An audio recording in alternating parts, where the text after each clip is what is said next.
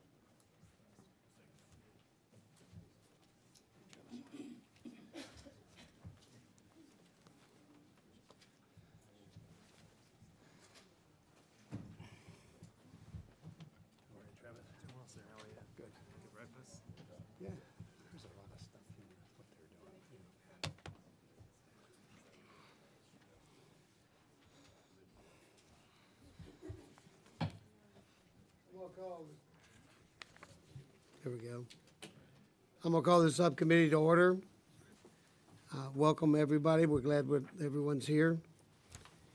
And, um, I want to welcome our panel of witnesses. Today we have John Wagner, Executive Assistant Commissioner of CBP for Field Operations, uh, Chief Carla Provost, Acting Chief of the Border Patrol, and Thomas Homan, Acting Director of ICE. Welcome each and every one of you. We've, we appreciate very much you coming here on this important issue. This subcommi- subcommittee is holding a hearing on the budget request of two DHS components, ICE and CBP. And this is for a couple of reasons. The first is practical. Chairman Frelinghuysen wants all appropriations bills reported out of the full committee before the August recess. And giving that the late submissions for, these are late submissions for uh, 2018 budget request, we're operating on a compressed schedule in order to meet this objective. Have, having both components also provides an opportunity to hear how they operate jointly and how those operations have a direct impact on the assumptions underlying their budget requests. Let me state at the outset that I support the proposed budget increases for both CBP and ICE. Thankfully, illegal immigration is down. However, the border is still vulnerable and gaining operational control remains an imperative. In my opinion, technology solutions that improve situational awareness and infrastructure that slows illegal crossings makes the country safer. Too often, the discussion about the border security revolves around illegal immigration, which is certainly part of the story. The rest of the story is that illegal immigrants can exploit vulnerabilities in the nation's border. If, they can do it, so can the terrorists, drug smuggling, and human trafficking organizations. This is unacceptable. It's time to change the dynamic, and the budget request for CBP and ICE is a start in the right direction. The fiscal year 2018 budget request for CBP is 13.9 billion, an increase of 1.7 billion over the amount provided in fiscal year 2017. This includes 1.7 billion for new physical infrastructure. There are legitimate questions about the request that require answers. For example, spending is proposed for various types of barriers, but it's unclear where they will be located or if they can be executed in fiscal year 18. Likewise, we need an understanding why more emphasis has not been placed on technology and, and personnel at ports of entry. This is where a vast majority of illicit drugs and currency enters the United States. For fiscal year 2018, budget request for ICE is 7.6 billion in discretionary spending, an increase of 1.1 billion over fiscal year 2017. The largest share of the increase supports the detention and removal of uh, additional 12,055 adult aliens resulting from robust interior enforcement. This subcommittee needs to understand if the change in policies and force structure will actually enable this level of enforcement as well as the methodology used to calculate the costs for enforcement and removal operations.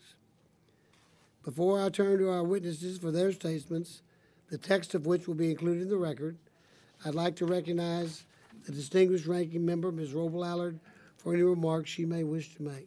Thank you, Mr. Chairman, and welcome Director Homan, uh, Chief Provost, and Deputy Executive Assistant Commissioner Wagner.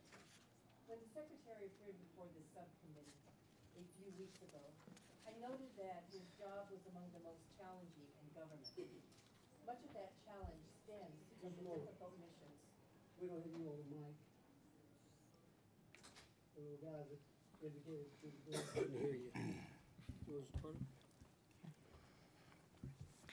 When the uh, Secretary appeared before this subcommittee a few weeks ago, I noted that his job was amongst the most challenging in government. Much of that challenge stems from the difficult missions of your agencies.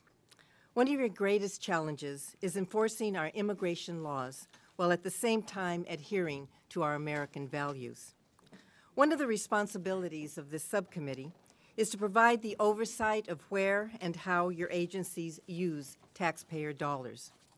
There will be times we will disagree on funding priorities, as well as policies, interpretation of law, and enforcement priorities, just as I disagreed with some of the prior administration. Among those disagreements is the President's proposed border wall, because it isn't enough just to ask whether an investment improves Homeland Security. We must also consider the fact that each additional segment of physical barrier at the border comes at the expense of important priorities both inside and outside of the department.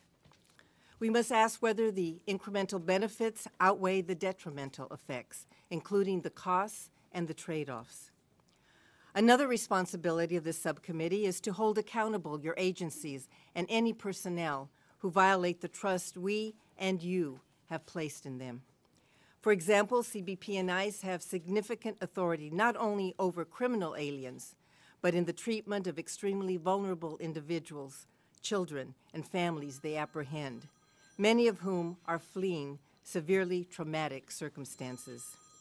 Emphasizing the need for CBP and ICE to ensure such individuals are treated fairly and humanely and according to appropriate standards is this subcommittee's obligation and should not be interpreted as being at odds with valuing the mission of your agencies. A further area of disagreement is on immigration enforcement. I completely disagree with the aggressive posture called for by the President's executive orders. One sentence in the witness testimony particularly struck me in this regard.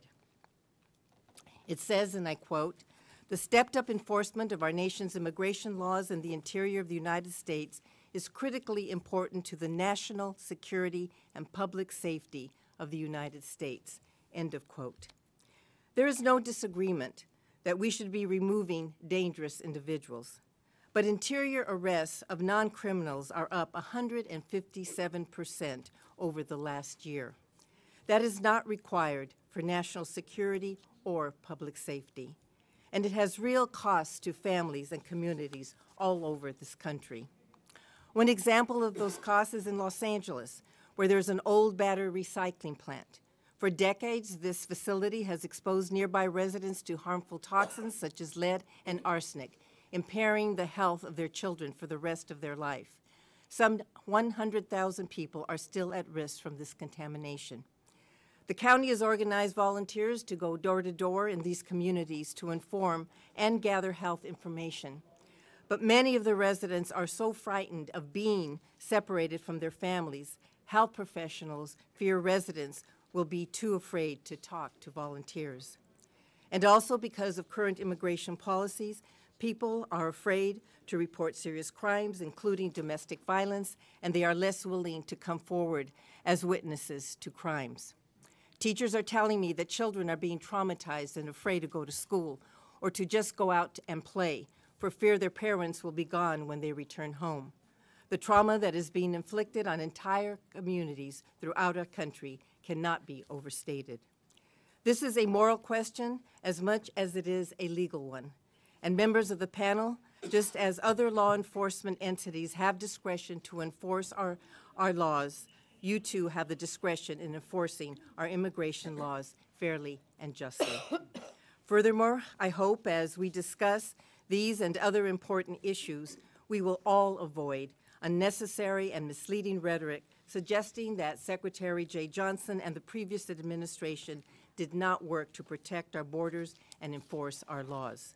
I hope we will respect the efforts of the prior administration to faithfully enforce the law as they understood it, including the efforts of the men and women of CBP and ICE who served during that administration. To try and discredit them only serves to undermine the respect and confidence the American people have in their government and its determination to keep them safe.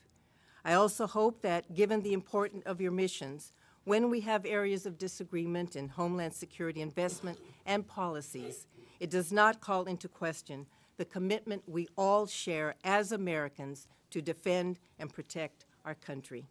Mr. Chairman, I know that this is approach that you take in leading this subcommittee, and I very much respect and appreciate your patriotism and your commitment to protecting our homeland.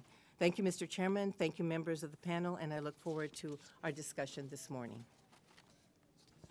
We are pleased to have the, the ranking member of the full committee, Ms. Lowey, here today. Uh, Ms. Lowey, would you like to make a statement? Thank you, Mr. Chairman. And I'd like to thank Chairman Carter, Ranking Member Roybal Allard, for holding this important hearing, and I want to thank you to our distinguished panelists for being here this morning.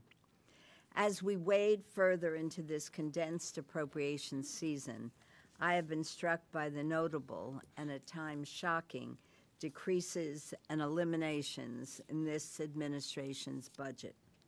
I am stunned yet again, but this time by the increases proposed for both ICE and CBP, which are part and parcel of the un American mass deportation policy this administration is pursuing.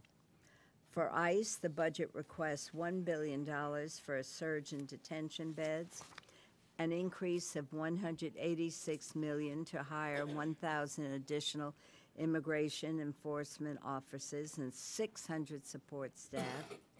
For CBP, the budget requests 1.6 billion for, in my judgment, President Trump's boondoggle of a wall, an unnecessary and unreasonably expensive proposition that is based on nothing more than a campaign promise and will not keep us safe. I want to make something perfectly clear. Democrats will not accept a penny of funding for a new deportation force or a border wall. It appears President Trump and the administration did not take note of the recently enacted bipartisan spending bill in which neither of these items was funded. If President Trump actually wants the government to function and wants annual appropriation bills enacted into law, then he must abandon these outrageous requests. In addition, President Trump has spoken and tweeted extensively regarding his draconian plans to detain and deport as many people as possible. Let me give you just one example of how unconscionable and unacceptable this approach is. Last week, a young man from my district, Diego Puma Macancela, was detained by ICE. Diego was brought to the United States as a minor by a parent. By all accounts, was an upsta- upstanding member of the community. This summer, Diego was planning to graduate from high school, but instead was separated from his mother, detained on the day of his senior prom, and is now due to be deported. We have worked to foster a diverse community where people of all backgrounds build a brighter future together. The removal of this teenager violates the fundamental trust between law enforcement and our community. Increased immigration enforcement of nonviolent offenders. I mention that again because nonviolent offenders, especially targeted at children like Diego, has a chilling effect on these critical relationships. This radical enforcement policy makes us all less safe. As I told Secretary Kelly when he testified before this subcommittee last month, the budget does not reflect the serious nature of the threats we face. It's time we move on from campaign rhetoric, start focusing on what is needed to truly keep America families safe. Thank you. Thank you, Mr. Chairman. Doesn't work. Thank you, Ms. Lowey. All right. um, We're ready to hear from you on your opening statements. Those opening statements, uh, you've submitted a written opening statement. Everybody's got a copy of it, what you have to say. You need to condense it down to about five minutes. And uh, we will, the rest of what you have to say, of course, will be entered into the record. So, Ms. Ms. Provost? Thank you, Chairman Carter. Ranking Member Roybal As the Acting Chief of the United States Border Patrol, I am honored and, and privileged to appear before you today to discuss the President's fiscal year 2018 budget. As America's border agency, U.S. Customs and Border Protection is responsible for securing America's borders against all threats while facilitating the flow of lawful people and goods entering the United States. Today, I will discuss how we are using the resources provided by Congress efficiently and effectively, and talk about how the President's fiscal year 2018 budget request supports CBP's continued commitment to securing our borders by maintaining the right balance of people, technology, and infrastructure, often referred to as the three-legged stool. As an evolution from the three-legged stool, we rely on four interdependent master capabilities of domain awareness, impedance and denial, access and mobility, and mission readiness. Domain awareness is provided through technology that helps detect, identify, and classify. Impedance and denial is provided through border walls designed to deny and deter illicit cross-border activity. Access and mobility is the added infrastructure of access and patrol roads that enhance our response capabilities. And finally, mission readiness is provided through the Border Patrol agents and their training and, and tools that provide the law enforcement response. Our operational capabilities are reinforced by Congress's ongoing support of investments in technology and equipment. Radios are essential for frontline agents, officers, and pilots. Border Patrol agents may not deploy to the field without a functioning radio. On that, I would be remiss if I did not express our gratitude to Congress for your strong support in fiscal year 2017 in this area. However, nearly 72,000 units of CBP's radio inventory are obsolete and/or have e- exceeded their useful life. The 2018 budget requests 44 million to purchase secure modern communication assets in order to achieve maximum interoperability and functionality. The budget also includes 34.8 million for the Tactical Aerostats and Relocatable Towers program to provide Border Patrol agents with advanced surveillance technology over a wide area. The budget includes 22.4 million for integrated fixed tower operations and maintenance, and 17.4 million for procurement, construction, and improvements. These and other proven border security technologies help the U.S. Border Patrol fulfill our mission every day. To fulfill the mandate of Executive Order 13767, Border Security and Immigration Enforcement Improvements, the budget funds an increase of 100 million to begin hiring 5,000 additional Border Patrol agents, beginning with 500 agents from current appropriated staffing levels.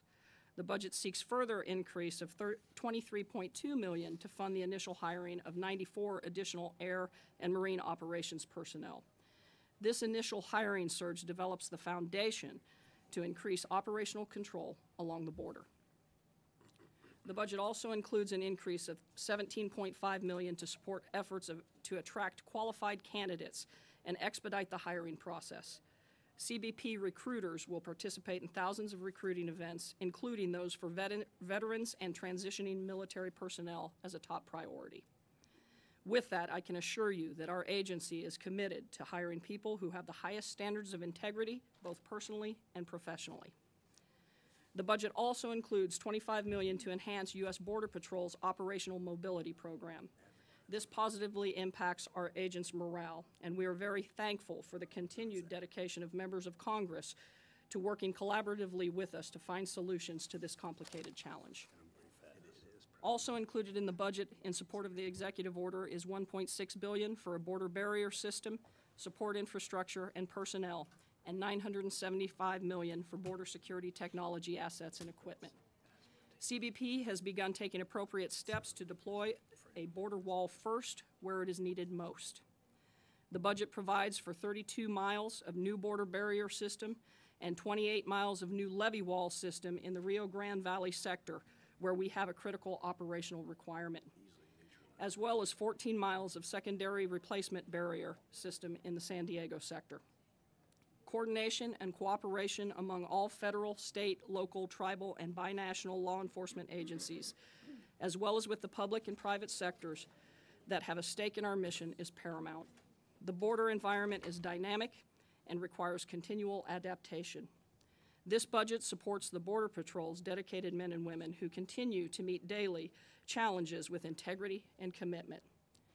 In closing, I would only add that it is my belief that Border Patrol agents are among the most dedicated and committed law enforcement personnel in America.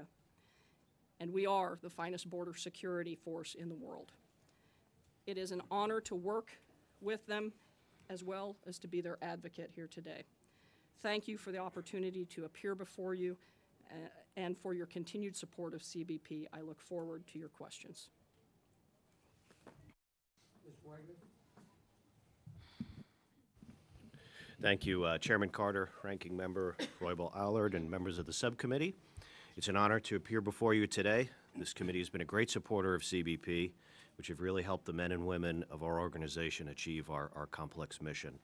So as Deputy Executive Assistant Commissioner in the Office of Field Operations, I'm responsible for more than 29,000 employees, including more than 24,000 CBP officers and CBP agriculture specialists at our nation's 300-plus ports of entry in the air, land, and sea environments. These dedicated men and women use state-of-the-art technology, intelligence, risk information, and targeting results, coupled with their well-honed law enforcement techniques and skills to prevent dangerous people and contraband from entering the United States. They do all this while enabling the movement of legitimate international trade and travel. The fiscal year 2018 budget supports these efforts by ensuring the men and women of CBP have the resources they need to get the job done. Last fiscal year, CBP officers inspected over 390 million travelers and arrested over 8,000 individuals wanted for serious crimes. CBP officers also stopped nearly 275,000 inadmissible aliens from entering the United States, which was an increase of 7.6% from fiscal year 2015. The reasons for this range from immigration violations to criminal violations to national security concerns. The fiscal year 18 budget, which includes funding to improve intelligence and targeting capabilities related to the screening and vetting of immigration populations and international travelers will enhance CBP's ability to secure our borders and keep America safe. The budget requests include an increase of $14.5 million to expand staffing at CBP's National Targeting Center by 93 positions. 63 of these positions are CBP officers, and the remaining are support positions to conduct activities such as the vetting of travelers and cargo, as well as our counter-network activities. The National Targeting Center operates 24 hours a day, seven days a week. Their mission is to effectively identify passengers and cargo that may pose a threat in all international modes of transportation and ensure those threats are addressed in a sufficient manner at the earliest possible opportunity. Effective targeting and interdiction prevents inadmissible, high-risk passengers, cargo, and agriculture, as well as bioterrorism threats from reaching the United States.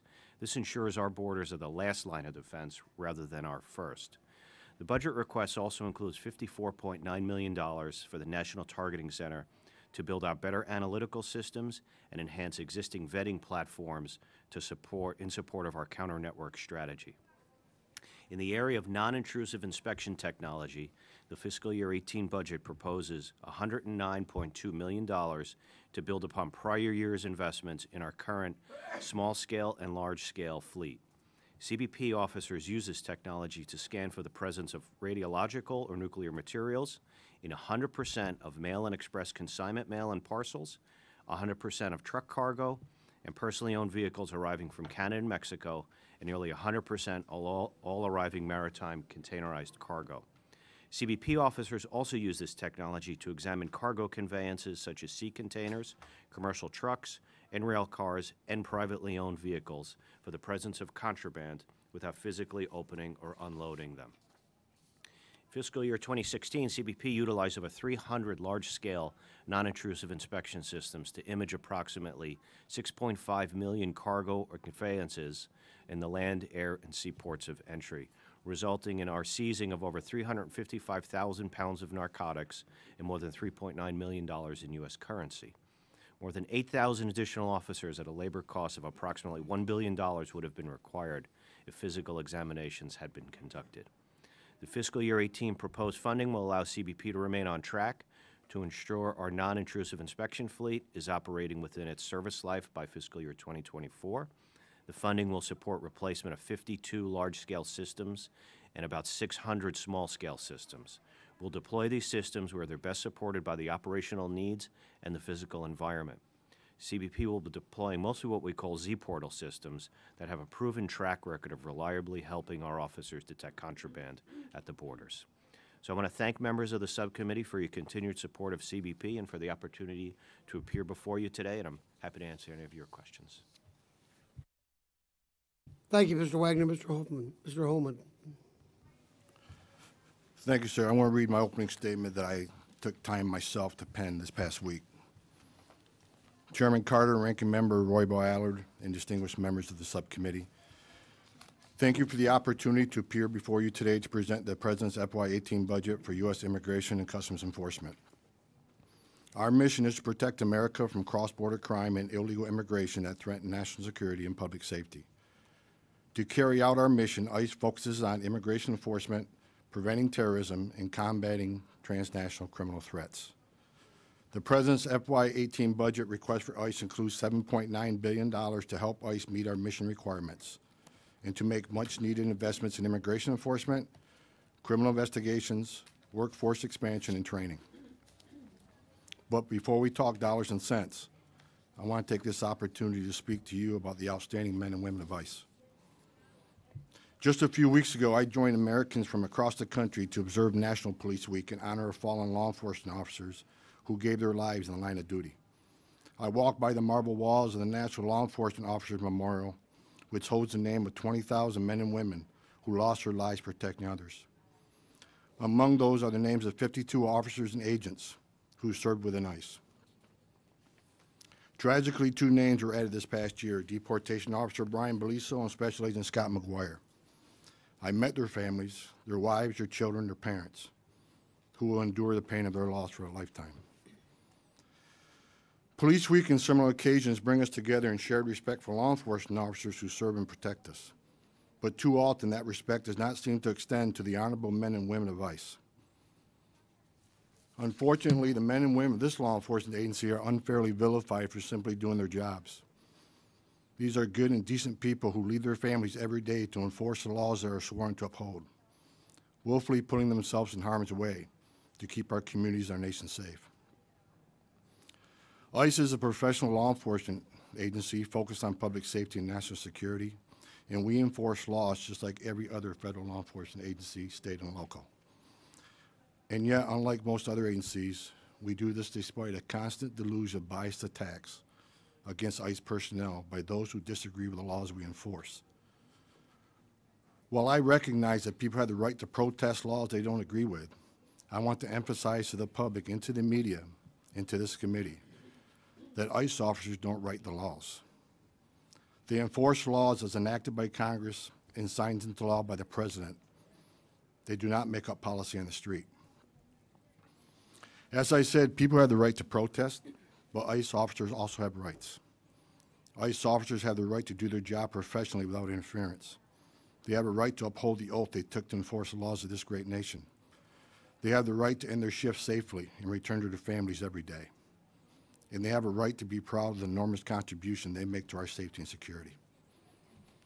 We are all blessed to live in the greatest country on earth, and I can't blame anybody who wants to live here. But we are also a country built on the foundation of the rule of law. Those who choose to enter this country illegally, which is a crime, federal crime, or to overstay a visa have knowingly chosen to break the law. Meanwhile, millions of people who have become permanent members of, of our society through our generous legal channels, they have shown their respect for the rule of law and for the American people. Even so, aliens who are subject to the removal process under law receive extensive due process at great expense to the American taxpayer. If an alien is issued a notice to appear, they will see an immigration judge at taxpayer expense.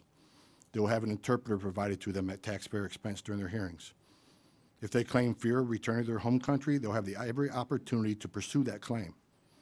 If unsuccessful, the alien can appeal the ruling to the Bureau, Board of Immigration Appeals, a U.S. Circuit Court of Appeals, and even the Supreme Court in some cases.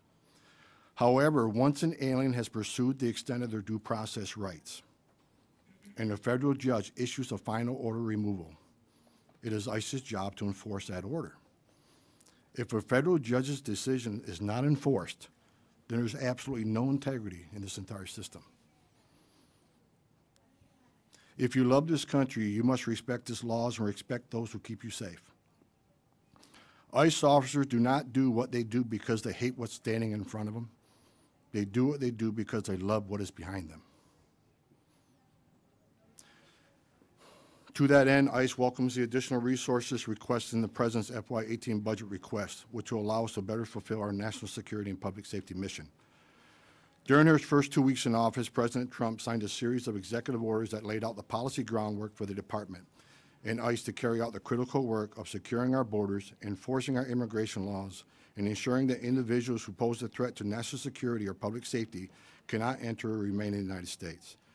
The President's budget, if funded by Congress, would provide the additional resources, tools, and personnel needed to begin implementing these policies.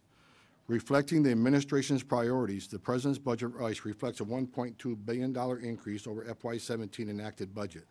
This increase in funding is critical for ICE to meet its mission needs.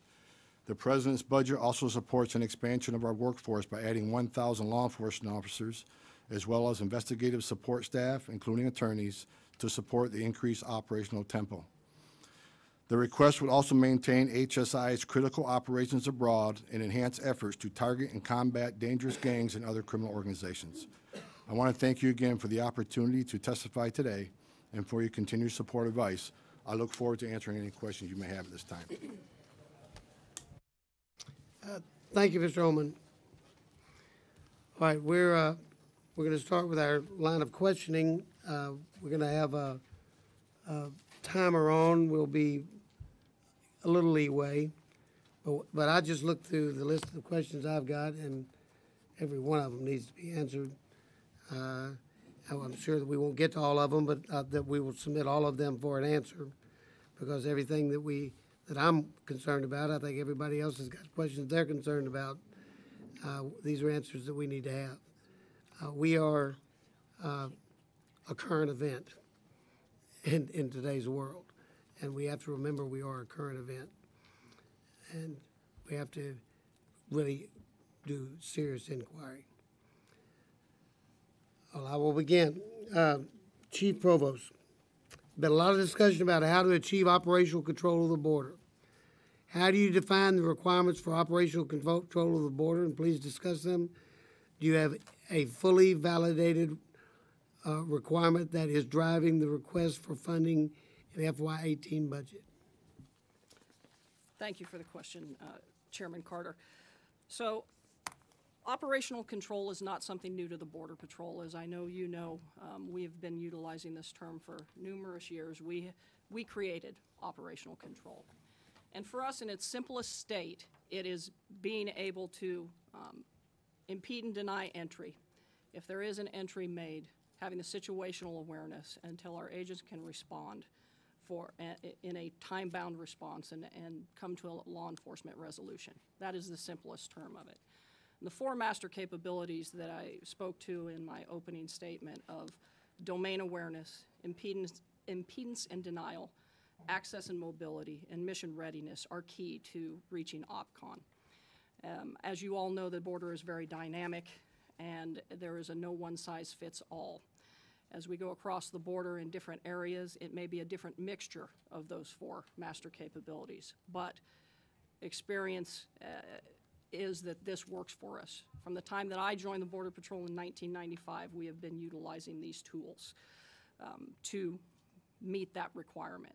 So operational control is, is key. Those four master capabilities are the key to the success of operational control in the right balance in the right places along the border. Are there requirements that are fully validated right now that are driving this request? We utilize the, the uh, capabilities gap analysis process to identify gaps in simplest of terms a- along the border. And uh, the CGAP process is a continuous process for, for a reason. As we apply resources to one area of the border, as you know, it may impact other areas of the border. And through that process, we have validated the requirement. And we have different requirements across the border in all of these areas. And as I said before, it is a continuous process, so it is ever-changing, and we continue to evaluate the border throughout the year, every year. Well, this next question has multiple parts. Okay? We'll try to keep track of them. Okay. The budget includes one point six billion for planning, design, and construction of seventy-four miles of various types of physical barriers, including levee wall, bollard fencing, and potentially a cement wall. Tell us uh, more of your plans for border infrastructure. What types of structures do you propose, and where will they be located strategically? Where do you anticipate the longest length of barrier? Where does it not make sense to build a wall rather than a fence? From the time you get the funds, how long before you start putting steel in the ground? That one I put an X by, that's important. Do, uh, do not expect to use multiple, do you expect to use multiple contract vehicles as well as contractors?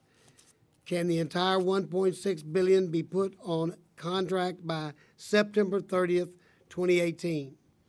Please be specific into those, as to those projects you can put on contract and address the situation in Texas where land is mostly privately owned by private people.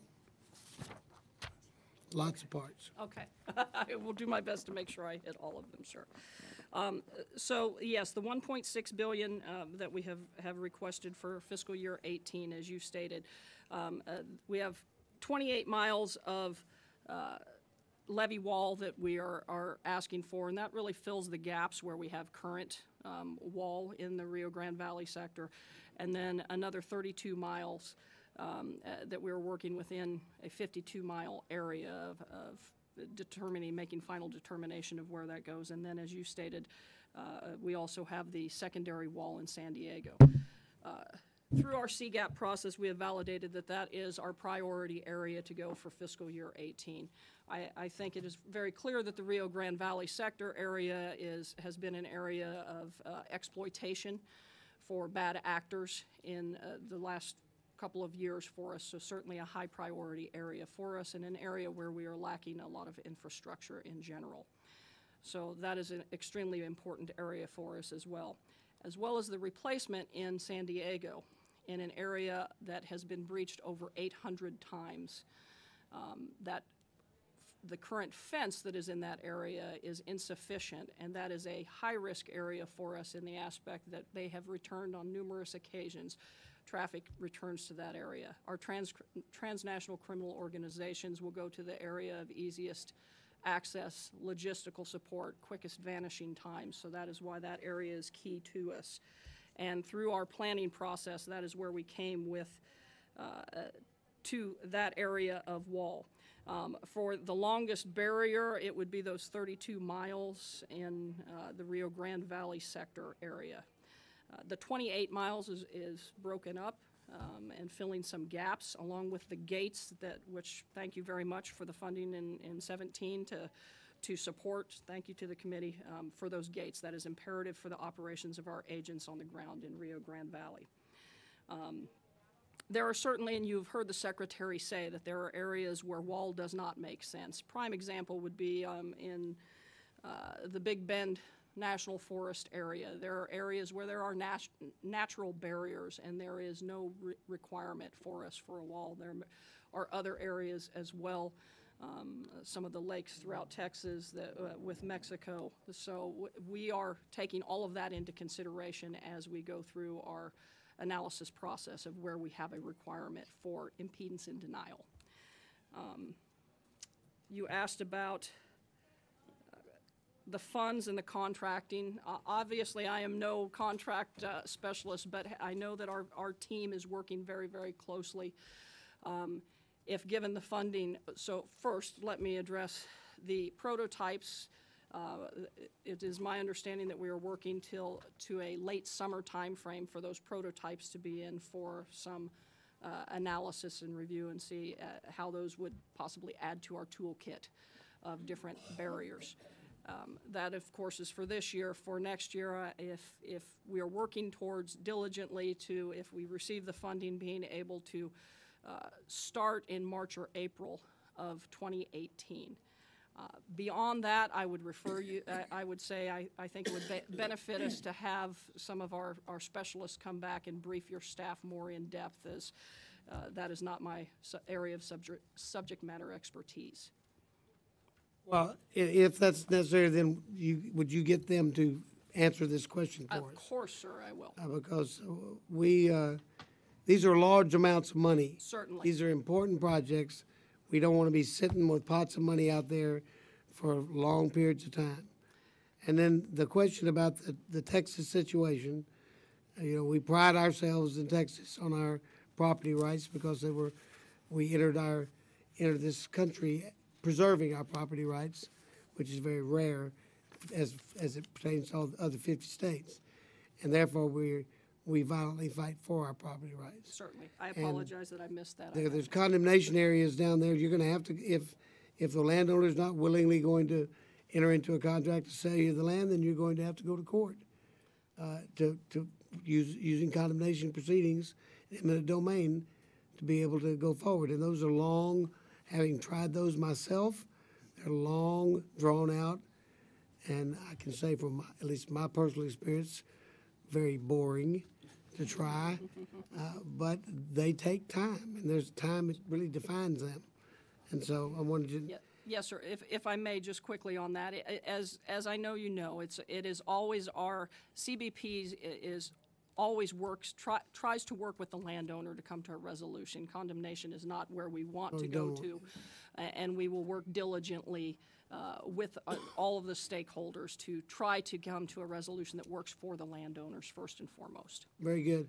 And, and to finish up this area, a question, a final question. Congress provides, provided funds for forty miles of replacement fencing.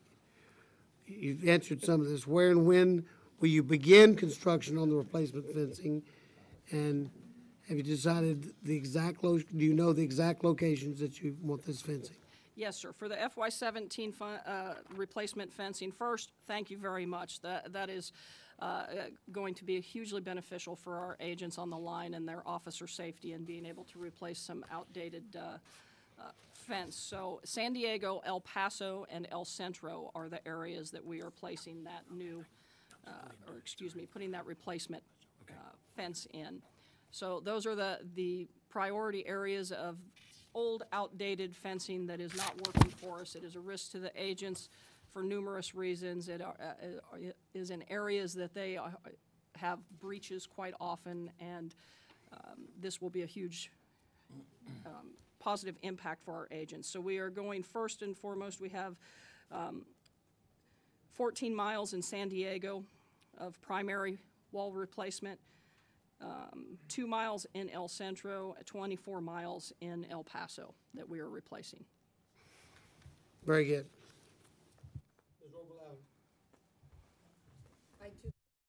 have uh, more questions than we have time, time for.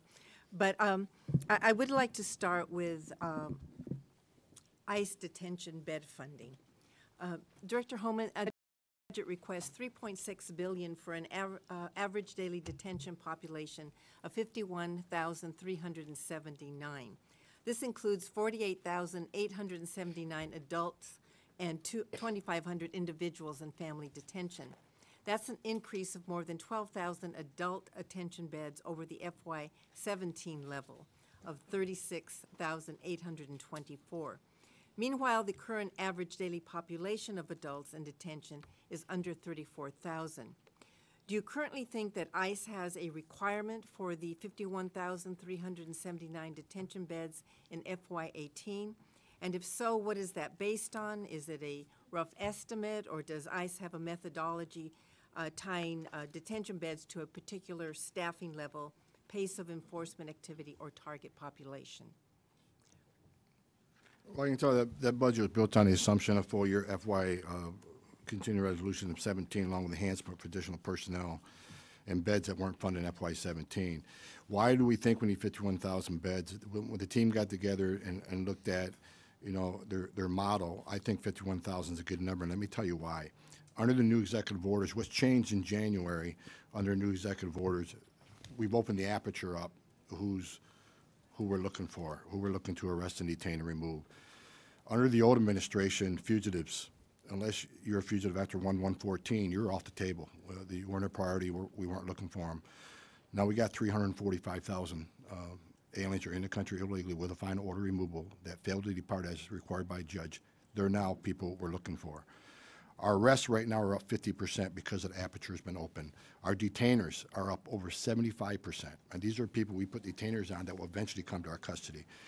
Secure Communities is back, which means we put detainer on anybody that's illegally in the United States. And 287G, we expect that program is almost nearly doubled in size. We expect it nearly triple in size by the end of the year. That's a force force multiplier for more law enforcement officers to bring illegal aliens into our custody. OPLA has over half a million cases on, on the docket. They expect to have close to a million by the end of the year. These are also folks that will eventually come into our detention. Recalcitrant countries was an issue under last administration. We had 23, 24 countries that we couldn't get travel documents from. Uh, through a lot of hard work from the ICE staff here in headquarters, we're down to 11 countries now. So we got 12, 13 countries back to the table issuing travel documents for thousands of people we're trying to uh, remove and um, overstays. Uh, Those overstays, you know, between six, seven hundred thousand overstays in this country that were not a- a priority under this new executive order. They are. So you can see hundreds of thousands of, of, of illegal aliens with final orders, already had their due process, are now back on the table for enforcement. So the, the, the intake of, of new cases for detention are very high. Clearly can uh, justify fifty-one thousand beds. So, so we're basically talking about young people like uh, uh, Diego that Ms. Lowey was talking about now, that everyone is pretty much uh, being targeted, as I understand it. That's what you mean by the opened uh, aperture? We, s- the- the In terms of a the primary- exec- the primary- executive, the executive orders open the aperture, yes, but Yes. we still prioritize criminals and national security, uh, security fir- uh, threats first. But we look for fugitives, those that had due process, they've been ordered removed by a federal judge. We have to remove them, that's our job. And those that re-enter the country after being removed, that's a, that's a felony. When you get uh, formally removed from the country and re-enter illegally, that's a felony. And we I, got I, I understand, I understand that, but I, I just wanted to make a, a- I get some clarification. Um, a- Also, in May, the average population in family detention was under 600. The three family detention facilities ICE currently maintains re- represent fixed costs. That means that we are paying the full rate of two, uh, for 2,500 beds, no matter how many beds are filled. What are your plans for family detention going forward, and will ICE continue to pay for family detention capacity that isn't being used? The the answer to the last question is, it's not my intent, and that's, I don't think we should be paying for family beds we're not using. Uh, we're, we're, we're, we are meeting now, as of last week, we're meeting with the vendors for family detention to talk about, uh, the future use of family detention. My goal is to certainly, um, uh, decrease the funding, uh, needed for those beds. I think those beds should come at a cheaper price, and we're working on that now. Uh, family detention, I think, is a valuable tool we have. I think family detention serves a purpose. I mean, at one time, they were full, and we, we weren't allowed to take everybody into custody at family detention, but it is a, it is a consequence for illegal activity. And, and family detention gives us an opportunity to identify who these folks are, make sure that we put on some sort of reporting when they're released. Uh, they, they get a full medical, so we're not releasing, you know, women and children with chicken pox and measles, and, and, and we, we deal with a lot of medical issues coming in, so I think it's a necessary tool to figure out who these people are and should they be released. And they, they, most of them will claim fear and have a, uh, a hearing in front of the CIS. Some of them don't get fear, which means if, if, if their claims are denied, then these are people who were removed from, straight from the detention facility to their homeland. So it's, I think it's a valuable tool we, we gotta sustain. Now, I, I believe the uh, average length of stay in family detention is currently around 10 days, and this is largely due to a federal court, a district court determination that the detention of families with children cannot exceed 20 days unless the facilities are state licensed and non-secure. Uh, When I discussed this with Secretary uh, Johnson during last uh, year's hearing, he said the department was pursuing state licensure, but it was unclear whether the facilities would eventually be uh, non-secure. What is the current status of pursuing state? receive a provisional license. Um, When the facility in Dilley was seeking a license, uh, Grassroots, uh, uh, organization in Texas filed an injunction. Uh, And the state was looking to, from, from licensing them, so it went through the court process. The, this licensing did pass uh, the Texas Senate, but it, it, uh, it stalled in the House, so it's on hold. Uh, We'll continue to uh, try to get licensing those facilities. Uh, Berks facility in, in Pennsylvania does have a license, but the, the ruling by the court says, you know, that an average is 20 days for those who, who, for children to be detained for 20 days. So uh, we'll continue to operate within the judges, the district court's finding, um, and, and make sure that on average, they're in the facility less than 20 days unless they, they're, they're found not to have a, a fear claim and we're likely to remove them. Then they may stay on longer, but we're going, we're going to abide by the terms of the, of the circuit court decision. Uh, One of the things that disturbed me was to hear that ICE plans to end the Family Case Management Pilot Program, which has uh, only been fully underway for approximately a year. It seems uh, premature to me to pull the plug on, on a pilot that seems to be working uh, so far. What have been the specific results of the pilot, and what kind of formal evaluation has ICE carried out? And uh, it's my understanding that uh, appearance rates for the participants have been much higher than for families in the traditional ATD program. Is, you know, are there lessons that- learned from the pilot that could um, productively incorporate, be incorporated into the ATD program? You're right. The, the pilot, it was a pilot, and, and we, it was a, a $12 million uh, pilot, uh, the cost for a full year. But uh, on the metrics of, of showing up at their hearings and so forth, the, the metrics are no different, very similar to those on traditional ATD. So when you look at the cost, you know, an average day on the family case management program is thirty-five dollars, almost thirty-six dollars a day. And typical ATD ISAP three is four dollars a day. I mean, that- that's, you know, that's eight times the cost of, of a- a traditional ATD, which had the same uh, results at the end, practically off by one or two percentage points. So for the same reason we're here today talking about the budget, I think it's a, as long as it doesn't change the metrics of who's showing up at court as long as they both are equally successful, and one is four dollars and the other one's thirty-six dollars. I, uh, we decided that we're gonna go with cheaper alternative. Can you provide us with, with that information? Yes, ma'am. for The committee, I appreciate it. But I'm, I'm going to continue in the order that people arrived, Mr. uh, Frelinghuysen. I mean Fleischmann, I'm sorry. Thank you, Mr. Chairman, and to each and every one of our witnesses, I want to thank you all for appearing before us today, and I really appreciate the fact that you have been so laudatory of your employees. Thank you very much. They do a very difficult job um, and follow the law for our country, and I appreciate that so much. I have a, a question uh, for Mr. Wagner. First of all, I was very pleased to see a proposed increase in funding for non-intrusive inspection systems at land ports of entry. Uh, I have a two-part question, sir. Do you have any idea how much contraband goes undetected through our land ports of entry on an annual basis? By several reports, the use of NII is responsible for 90% of those interdictions in secondary screening. And then my final question would be, do you think it would make sense to deploy such proven technology at pre-primary to ensure 100% screening of all passenger vehicles, sir? I don't have an answer on how much goes undetected, but I can certainly agree with um, the high percentage of narcotics that we do intercept using the technology. It's something we've built uh, up the systems over the last probably 15 years to 20 years uh, or so at our ports of entry. Uh, It's incredibly useful technology, it's incredible resource saver, and really the, the- the, this, the safe and efficient way to examine a vehicle or a cargo container. Uh, It's really a tremendous asset. Now, whether we could deploy them into a pre-primary type environment, I think it's as much as the facility constraints or the logistics of doing so, or to figure out the, um, uh, the time sensitivities and how much traffic and the throughput we could get through. We are looking at some things with uh, commercial truck traffic and being able to run trucks through um, uh, 100% through the scanning uh, to look at what the impact would be and could we actually accomplish that in the right amount of time. For passenger vehicles, I think the logistics of doing so would be a challenge. I think um, operational, we'd like to be able to do that. It's just the, the, the, the time and the resources that would be needed, as well as the physical layout of where to put that equipment in those vehicle lanes. But it's certainly a strategy that would be where, you know, worth talking about some more.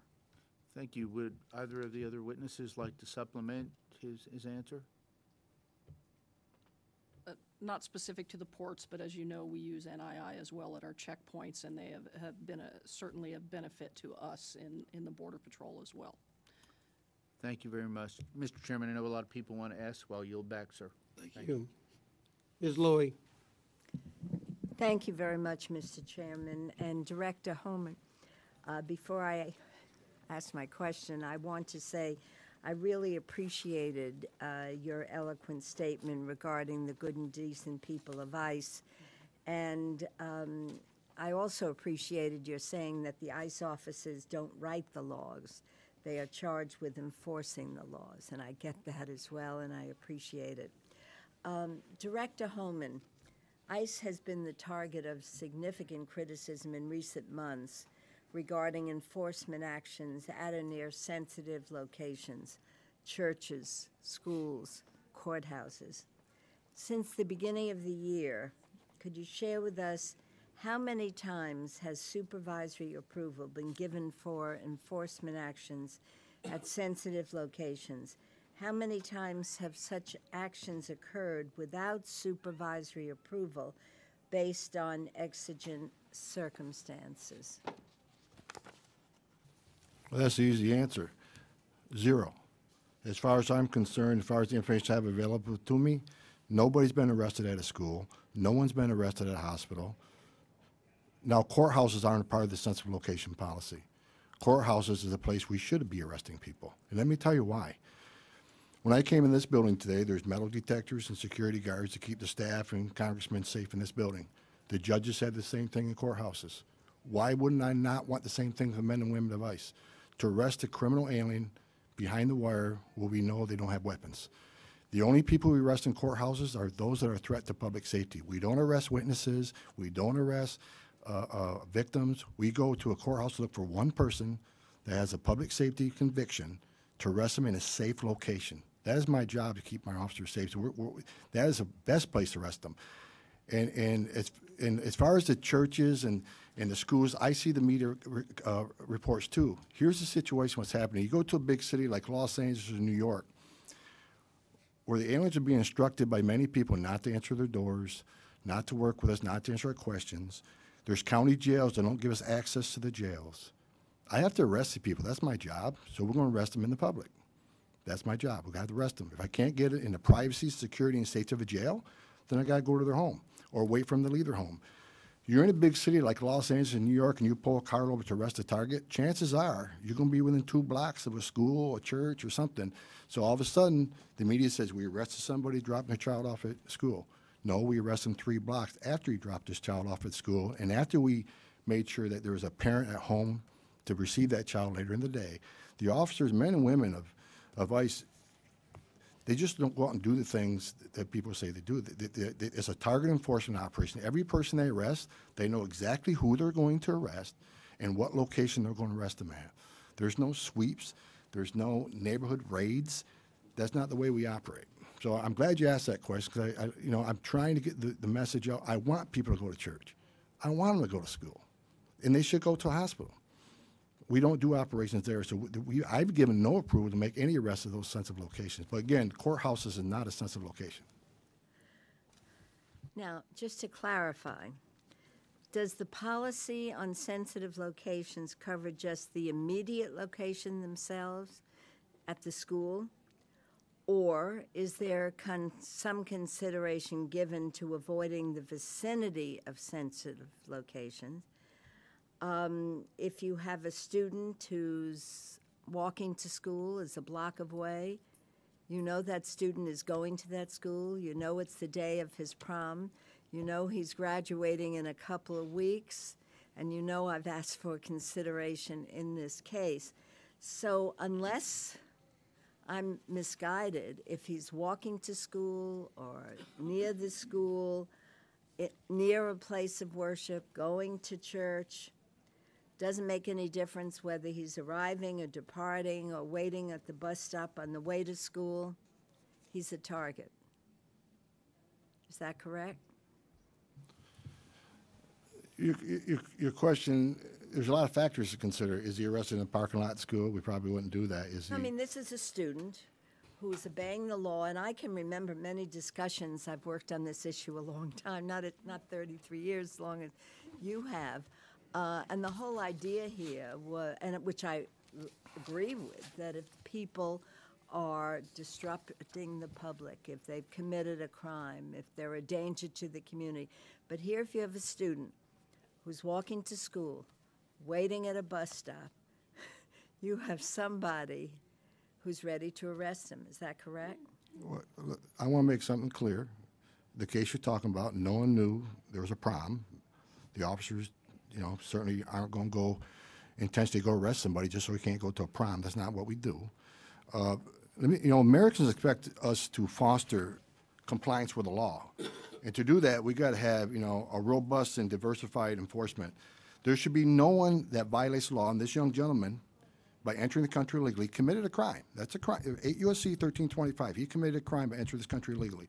He had his due process through several channels of, of judicial process, had his day in court, had his due process, and was ordered removed. So we're talking about somebody that's had his due process, he lost his case, and because we don't like the results of that case, we forget about it. Well, if we, if we, there'd be no integrity in the system if we don't uphold the rulings of a judge. I don't know where else in the American justice system any other agency is told to ignore a judge's ruling. It Doesn't happen anyplace else but in our context. I think it's important. This is a country of laws. We need to stand by the laws. The- country I grew up in, if you're violating the law, you should be uncomfortable.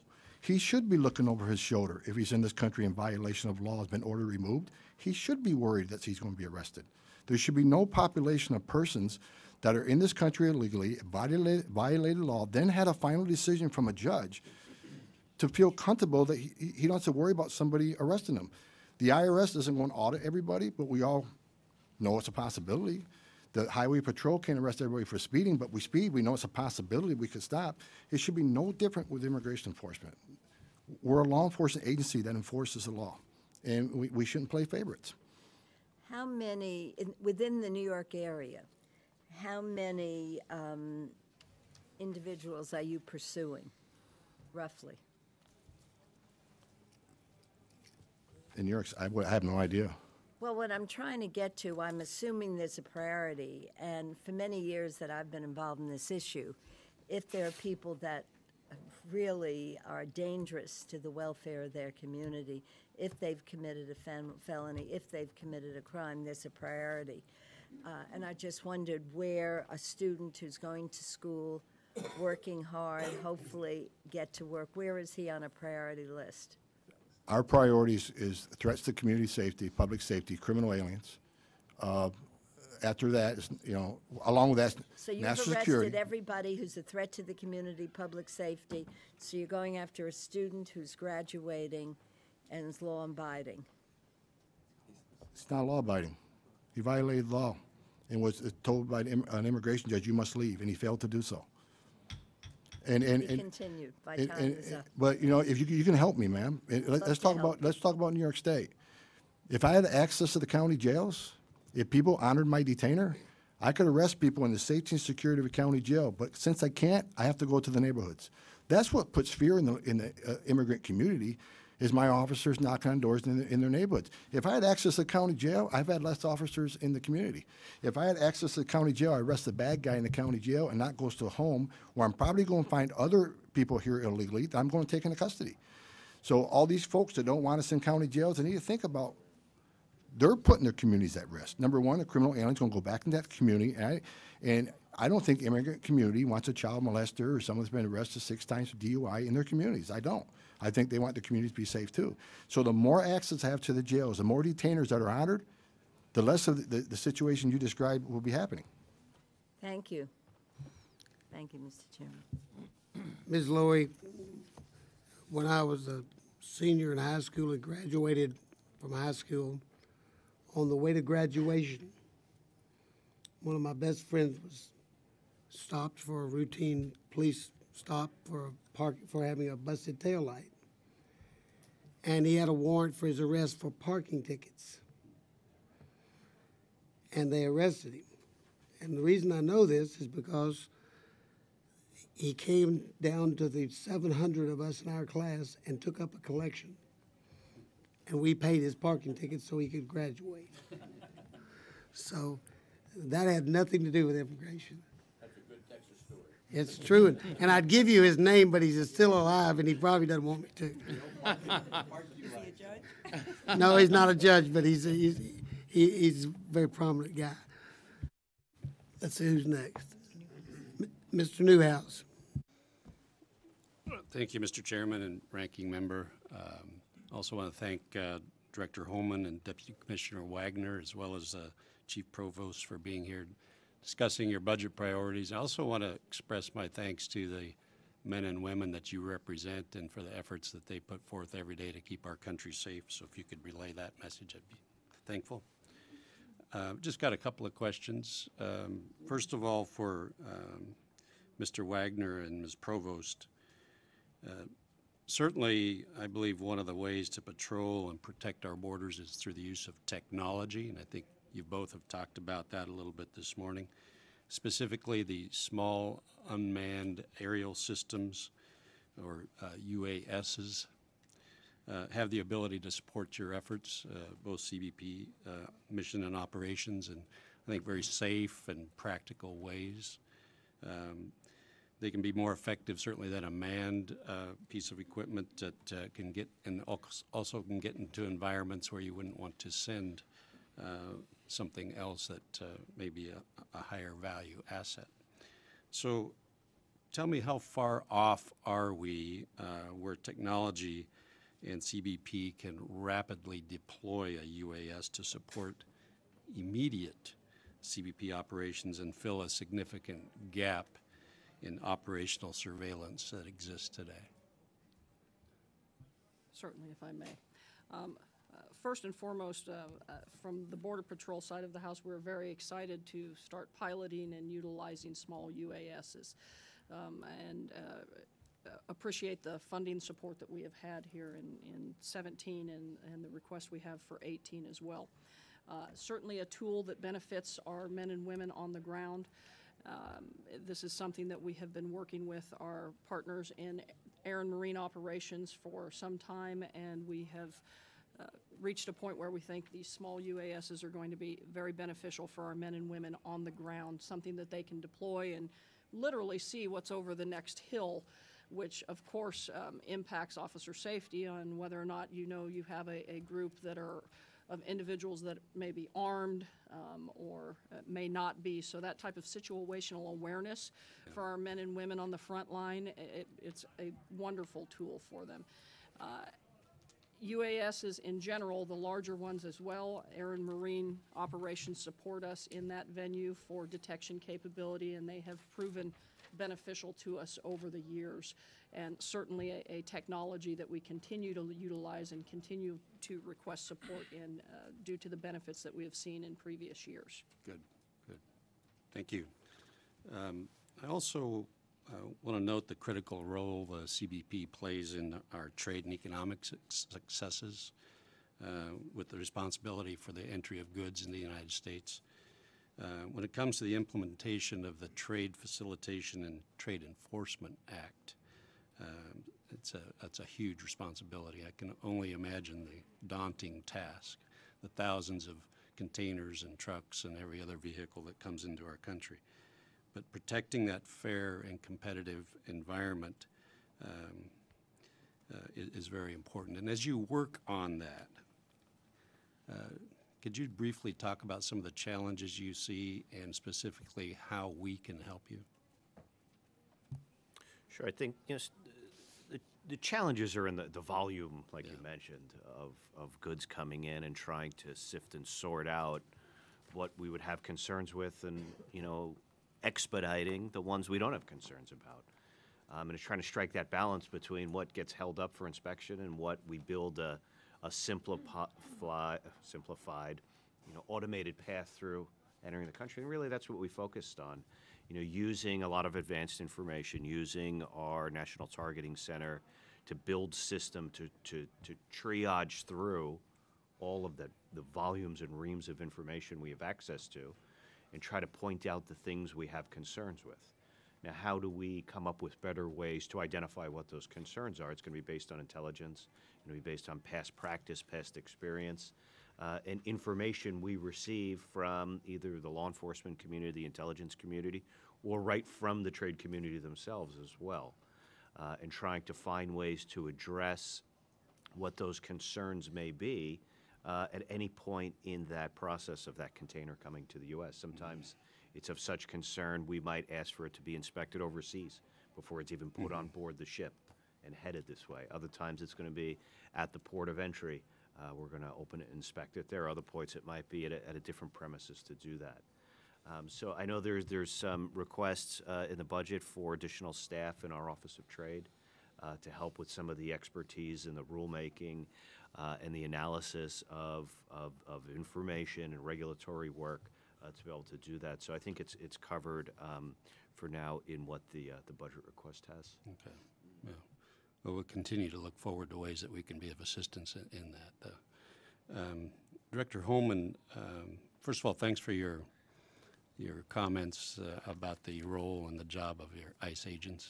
Uh, Appreciate it's a, a difficult task. Sometimes you're probably feel like you're sweeping sand into the ocean, but uh, um, Talked a little bit about some of the concerns that have been raised around the country from some of the previous questions, and um, uh, I just wanted to allow you to highlight, uh, uh, first of all, the, the, uh, those individuals who have DACA status.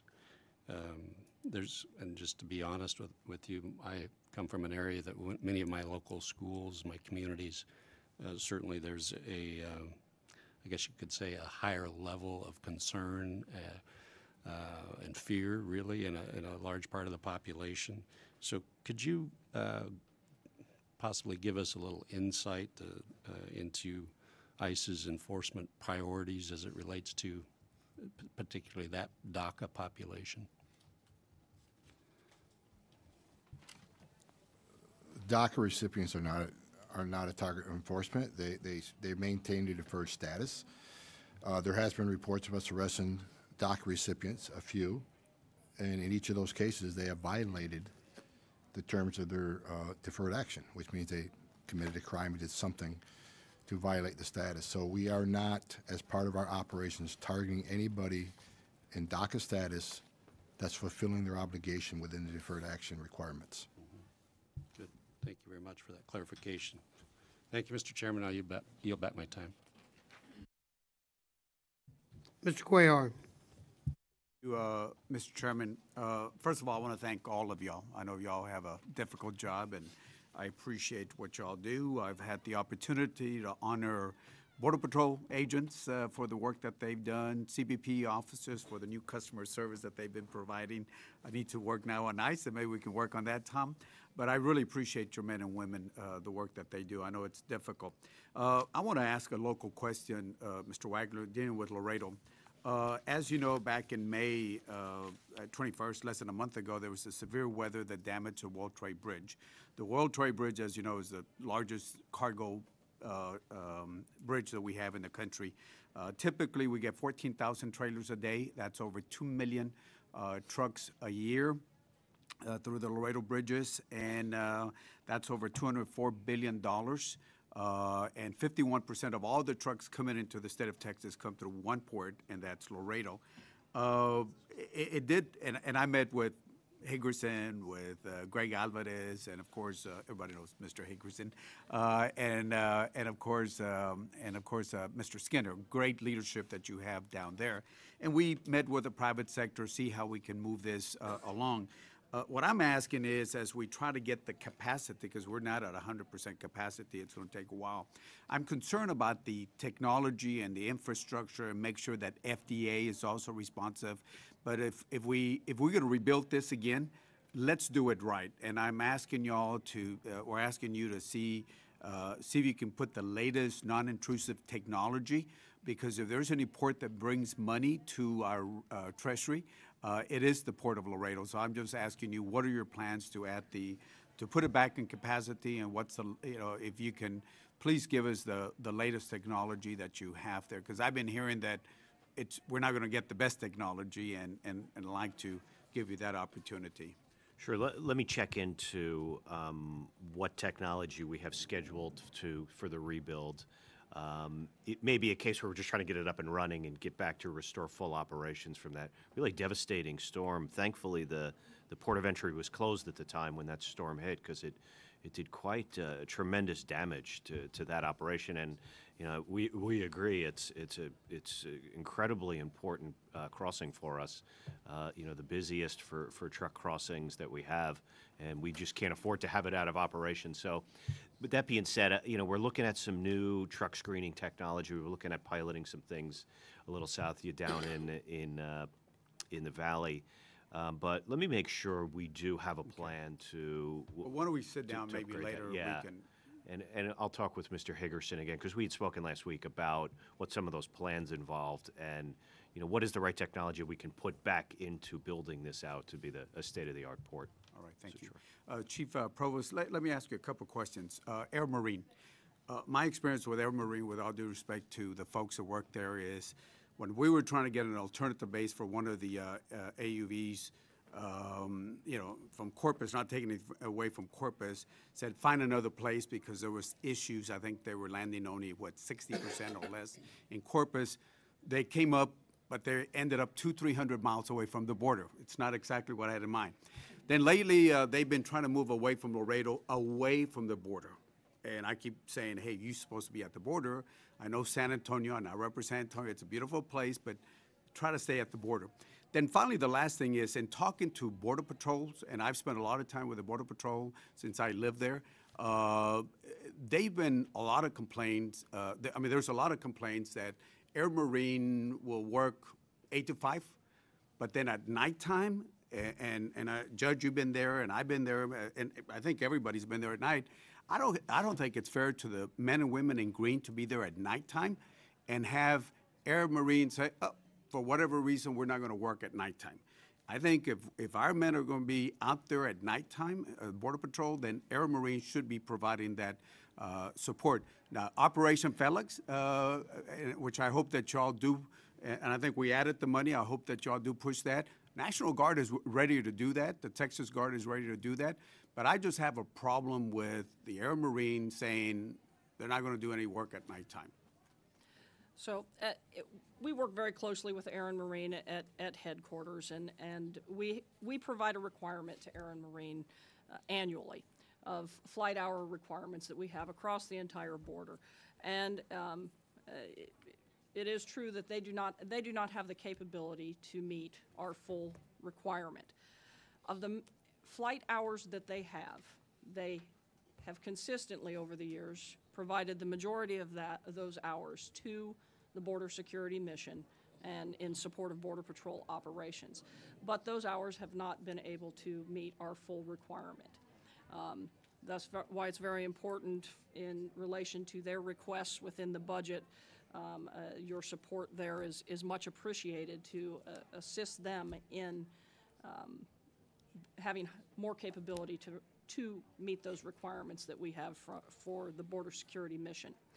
Um, We're working very closely with them. The commissioner has had us con- convene a working group. We're bringing in our agents from the field as well as headquarters personnel to try to address some of these issues better. Uh, In relation to Operation uh, Phalanx, as, as you mentioned, that has been a huge support for us in the past um, with National Guard support and, and certainly benefited us. Uh, We w- are committed to continuing to work with Department of Defense if that meets their um, uh, requirement um, uh, to help support our mission. We will work with them in that arena, arena going forward. Mr. Chairman, just on the levee, since that's in my district, can I ask a quick question? I got a few seconds left. Yes, you may. Okay. Uh, On the levee, as you know, that's in my southern part of uh, my area. Um, Back some years ago, Senator Cornyn and myself, uh, J.D. Salinas, the county judge, and myself came up with this idea about the levee. Um, Now, there's, some folks are saying that, that FEMA and the International Boundary Water Commission, because we're looking at this for flooding, they're saying, and, and maybe you can provide us this information at a later time, they're saying that, you know, all the levee requirements have been met, there's, the flooding requirement have been met. Uh, I like to maybe follow up, because my time is up, talk to you about the issue of, uh, uh, FEMA, the International Bou- Boundary Water Commission, and of course, then issues with um, the Valley Wildlife Corridor and the Santa Ana National Wildlife Refuge, Bentsen Rio Valley grantee, because we don't, and the, and the World uh, Birding Center, I just don't want them to be on the other side of the levee, or how we're going to address that issue on that. So I know my time is up, I want to be cognizant, but uh, I, I do want to follow up on, on the levee, because I, like I said, we came up with this idea, but now there's, some folks are saying that there's really no need for the flooding um, rationale, and that was one of the reasons why I agreed to that back eight years ago, whenever that came up with. just quickly, and I will ensure that we come and, and brief you in more detail on this. I Just uh, want to, uh, of course, reaffirm that we are committed and we work very closely with IBWC and all of the partners in any location to ensure, um, whether it's environmental, flooding, um, uh, the land issues, that we work hand in hand with them, and we are committed to doing that going forward. We will get you a a If you more can have them brief. come in, because they're saying something else. Thank you, Mr. Chairman. All right. Uh, And, and I have a real interest in that too, so we'd like to be included in that conversation in my office. Yes, sir. Uh, Mr. Taylor, I believe it's Mr. Taylor. Right, Mr. Taylor. Thank you, Mr. Chairman. I just want to reiterate what my colleagues have already said, that we truly appreciate all the work that the hard men, the hard work that the men and women do at each, each one of your places, of course. It's uh, thankless. Sometimes you get maligned for just doing your job, and uh, we appreciate you. And you think if laws need to be changed, we should do that, right? You guys just enforce it. So I appreciate you. Um, Director Homan, a couple quick things on the, on the, when does ICE anticipate obligating FY fiscal year 17 funding for expansion of beds? do you have a master plan that identifies uh, specific locations, and what factors would you use to identify those locations? We have been working on the ex- expansion plan. We have, right now, we have access to over 40,000 beds. We're actually at 42,000 in detention back in November, I think. Uh, We've identified beyond that 20,000 more beds that would be available that we could bring online. But what we're trying to do is, for our ICE dedicated and owned facilities, we would like to expand that. That's long-term plan because they have PBN DS 2011 standards. So right now, about 60% of our populations are in ICE-owned and dedicated facilities. The plan is to get up to like 80% by the end of next year. But we do have about 20,000 beds we have identified that could be, uh, that can be turned on. But of course, the, the biggest issue is they got to be they got to be appropriate. They got they got good medical care, good mental health care. They meet, they got to meet the standards, at least the U.S. Marshal standards. Um, uh, for a lot of these beds uh, that we can bring on are going to be beds we keep aliens in custody less than seven days. So the standards can be a little bit less than, than, what we have in PBN DS11, but we have a plan that we can execute. What's the factors that you use to identify locations? We try to get as many as we can near the southern border, because it's easier for the quick removals and it's more cost-effective to remove somebody from Texas. Uh, Right now, we're trying to build a hub and spoke model. We're working with uh, some contractors on doing a hub and spoke model where we're going, you know, we need beds in New York because we arrest people in New York, we arrest people in every major metropolitan area. But we got, we got to get more hub and spoke so we get people to a transit site. So when we do a removal flight, instead of flying to eight different locations to pick people up to remove them, as they get closer to the removal process, we do, we, we go to a hub and remove them from the hub. That's something we're, we're currently, uh, um, drawing up the plans on that now. One quick follow-up on the um, the use of like the GPS bands that use the to monitor monitor. Are they uh, effective, efficient, and um, will they replace the need for some beds as well? Det- Detention is always best if you want removal, because if we have custody of them and they get order removal, we can remove them. Ankle brace- bracelets can help make them accountable to show up in immigration court. Um, But in the end, if they choose to cut the bracelet off, uh, we have to go find them, and many times we don't find them. So I would say uh, de- detention is always the best if you want a removal. I mean, it just makes sense. Uh, a Ankle bracelet's the second best option. So we certainly do, we, we're over 70,000 ATD uh, people now. Um, So it's certainly an alternative for those who, for those we can't detain, maybe have a health issue that we can't address in detention, and we'll release them on an ankle bracelet. And, and like I say, it's got good response rate for showing up in immigration court, but when it comes to removal, it's, it's much less than detention. Thank you. Chief Provost, uh, quickly, the, um, when I was down the border recently, I saw about six or seven different types of, of fencing or wall uh, throughout the different, you know, the border. And um, with the exception of, of course, uh, Mr. Cuellar's area with McAllen with the levee in it, is there, a- is there a sort of a standard practice now or a, a desired fencing? Because some of them, of course, were very easily, d- d- easy, penet- easily penetrated and some of them were not. Is there a best practice, best standard uh, that we're going to use moving forward? So I, I believe you saw the, the product of uh, numerous years and, and uh, various attempts at, at different uh, barrier systems uh, and dependent upon funding and all different things throughout the years. Um, Of what we currently have in our toolkit, the steel bollard uh, wall is uh, a preferred wall of what we currently have in our toolkit. And as the prototypes come out, uh, we support innovation. As, as I said before, the wall that we put in, for instance, the secondary, secondary wall in San Diego, when we put it in, um, uh, worked at that time frame, but they have, the TCOs have become more advanced, more advanced technology makes it easier to breach. Um, So we, we look forward to seeing what comes out of the prototypes and if, if we can add to that toolkit for options, since the border is very different and different areas require different type of barrier. Thank you, Mr. Chairman. Uh, Ms. Ruppersberger. Yeah, well, for- I want to thank you all for being here, and it's a shame that you have to defend a lot of these things that are occurring in our country. I blame Congress for where we are right now. Uh, We, we, our Senate passed an immigration bill without amnesty, and we couldn't get it on the floor in the House. So we have to keep trying, because this issue is splitting our country. And we know a lot of the things that are alleged to have happened isn't who we are as Americans. But I, I really respect the fact, I was a former police officer when I was going to law school in Ocean City, Maryland, the summer. I was a prosecutor for nine years. So I understand law enforcement where you are. And you have to stand behind your, your people, and they are putting their lives on the line. They're in dangerous situations, and you have a mission, and you have, you have bosses. And the boss you have right now is the President of the United States, who won his election a lot on the visual wall issue where Mexico was going to pay. I don't think it's going to happen. And, you know, we all know that there are other uh, there's other technology that, that can do a lot better in a wall certain situations, and a wall, wall might work or not work.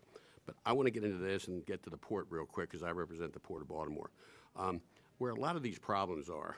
And I think if I was advising this president, is what, what you have to do. It's you, you have a reputation as bad guys coming to get breaking up families, and yet you're doing what you think is your job because you've been ordered to do that. Um, uh, if, if I was advising the president, I think he could help bring this country together by saying that we are going after the bad guys, and that's what you have said. And yet, my office, and I'm sure other offices, are getting complaints that if you have a DWI and you're arrested, you're gone and your family can stay here. You're breaking up families. And DWI or traffic is not really considered to be the type of people that I think are hurting our country.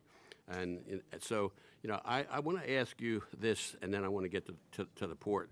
Um, as far as um, as far as we're concerned on ICE, um, what is your exact policy? If you pick if you pick somebody up who has a DWI, is that enough to have them uh, taken away, put in jail, and, and sent back to their country? What is the policy? If they're illegally in the United States, yes. Every, everybody's illegally. There's 11 million. So that, that's an issue you can use on every, que- every, every time you arrest somebody. What is the actual policy? Because, If someone has a conviction of DUI, I consider them a public safety threat and they should be removed. okay, so that is the policy. How about, how about a traffic uh, uh, violation? That's less of a priority, but if they're in the country illegally, they should be removed Okay, if they've well, had their due process. There are 11 million illegal, illegals in this country, so that's not going to ultimately solve the problem. But I don't think that's your, your problem, because you have been hired to enforce, and I understand that. And again, I don't, I, I feel that you shouldn't be defending it. I mean, we are the policymakers, the president is the president of the United States. And, and, you know, and I'm saying this, I respect that you have a job and a mission until you're told otherwise that you have to move forward with that. Now, you do have an obligation as the boss to make sure, and the same if you're a police chief or sheriff or whatever, that you, your people, when you make, have the power of arrest, that you do it the right way, uh, that you're not abusive or anything of that nature. That's, that's your mission right there, and you have to do that. I understand that. So I just want to, want to say this, that, you know, Congress has to do something. 11 million illegals in this country, we're not going to have everybody leave. I mean, and how we handle things, we're going to be judged down the road. And the quicker that we can resolve this, the better. But that's not your issue. Now, let me get to the Port of Baltimore. Sir, can I I address Oh, one yeah, comment I'd you like- made? The one comment you made, which I hear all the time, is ICE separating families. When a, when a, U- when an American family, a U.S. citizen family, when someone gets arrested, that family gets separated by law enforcement. It isn't the fault of law enforcement that people get separated, it's the fault of the perpetrator.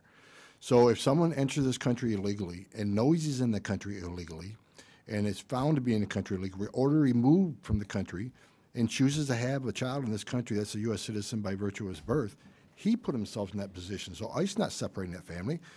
If we allow every illegal alien to enter this country and, and give birth to a U.S. citizen, then all of a sudden now we can't separate families. He gets to stay. Then, then you lost, then you lost control of the border. You're doing your job. I understand that. It's up to us to decide where we're going as Congress, and we have not been able to follow through on this. Politically, look, it- it- unfortunately, we have a lot of politics in this country. We're split. Uh, I hope my, I, I try to be partisan, I mean bipartisan, and, and I think really you should be America first and, and, and Republican, Democrat second. On both sides of the aisle, we're not real good at that at this point, and this issue has to be resolved. And let me get to the report, to the port real quick. Um, you know, the, there are other areas other than the southern border, and I agree that we must be able to, to uh, uh, work and, and protect our borders, as all countries need to. Um, and that's for the safety of our country. Now, um, there, there are other ways, though, that illegal drugs, arms, contraband, and even weapons of mass destruction can come in. Uh, I know that there are 47 million 20-foot containers that are processed through American ports on an annual basis. That's a lot. And this opens up the opportunity for bad guys to bring in a lot of, lot of, lot of serious issues that we have there. Now, again, I represent the Port of Baltimore, which is a, which every port is a huge economic engine for wherever they're located. And, you know, the, the coastal ports right now are coping with severe shortage in Customs and Border Patrol agents. And it's compromising security, uh, reducing uh, throughput and limiting hours of operation. Now, I've been told that in order to maintain full service at the port, say the Port of Baltimore, where where I represent, we'll need to subsidize Homeland Security for additional personnel. And these uh, agreements are being negotiated through the reimbursement, reimbursable services program known as 599 program. I don't know if you're familiar with it or not. Okay, now, in my opinion, this is an unreasonable request. Transferring these costs for the federal government to the state and local governments, I think is outrageous. You know, we swore an oath to protect our Constitution, defend our country. That's what the federal government does. That's why we pay federal taxes. And when we pay these taxes, we expect protection from our federal government. Now, your agents have the experience to thwart terrorist attacks better than probably state and local. Maybe in state, I shouldn't say that. Maybe they're good at it too. But, but, but we need you there. We need to have your expertise. Now, the president's budget requests uh, more than 300 million to assist Customs and Border Protection uh, to staff up. However, it's unclear where those agents are going to be assigned. Uh, I believe all ports should be staffed on a fair and level playing field, and the Port of Baltimore is seeing major growth, uh, especially with the Panama Canal issues that are happening. My question, can you clarify how much of this supplemental funding will go towards additional Customs and Border Patrol staff at domestic ports, specifically ports that are expanding since the reopening of the Panama Canal? Number two, is there available equipment which could effectively, and uh, got into this for a while, could, be a force multiplier. In other words, what technology do you need so that we can make do with fewer agents? And I know there's technology, like with the containers, to try to find out if there's nuclear weapons or those type of things. Right. So there's no, uh, in the, in the 18 budget request, there's no increase in staffing for the ports of entry. Uh, We're currently operating at about a 1,400 uh, vacancy rate based on the um, positions that were provided to us in 2014, the 2,000 extra. Uh, That's based on our workload staffing model. It's an annual assessment we do of the workload and how many hours it takes to do that work. Uh, There's still a current shortfall uh, above and beyond the, the 1,400 of about 2,500 positions based on that workload assessment. So we, we, we're in agreement on, on the need for staffing. We're in agreement that we have a, a large number of vacancies that we're trying to fill right now, uh, and we need to fill those before we can come back and ask for more above and beyond that. Uh, we need to do a better job at filling those vacancies. Now, as far as the reimbursable services agreements, is what those allow us to do is to provide services above and beyond what we're already providing. So if an entity comes to us and says, we'd like expanded service at this location for this purpose, what would it cost us to pay the overtime of the officers to be there to do that? It allows us to provide that cost to see if it fits in with that business entity's uh, uh, And that's my operating rub, model. that I, I believe that should be the federal government paying for. it. But I understand, it's not your call. You need the money, and, and you- you're just implementing. it. Right, it's just a way for us to Goes back to Congress again. It- It's a way for us to expand the service that we probably have to deny just because we can't stretch the, the understand. resources that far. Uh, and then as far as the equipment, um, let me get back to you on what we have in the Port of Baltimore and what, what we've got lined up for there. Okay, got it. Yeah, thanks. Make sure you get back. I will. Okay, got it. Thank you. Read it back. Thank you, Mr. Chairman. And I just want to echo um, the, the comments made by many of my colleagues, thanking you for your service and your sacrifice and trying to keep um, American families safe and enforcing the law and maintaining integrity. I think that's a that's an awesome um, and expected approach from uh, your organization. Can I ask, and this is in general for any of the three, um, what, what's when I was on the um, Homeland uh, Security uh, authorizing committee, we talked about operational control. What, what percentage of operational control do we have on our borders at this time? I think it was below 50% uh, a couple years ago, but I'm, I'm not sure. So um, the Border Patrol over the last couple of years moved, had moved away from operational control to a risk methodology where we began looking at the border as whether or not uh, uh, an area was low, medium, or high risk, um, kind of building from where we used to work off of OPCON. As a whole, From the Border Patrol perspective, we are at a medium risk across the southwest border. Um, Each uh, different uh, AOR uh, falls into a different area.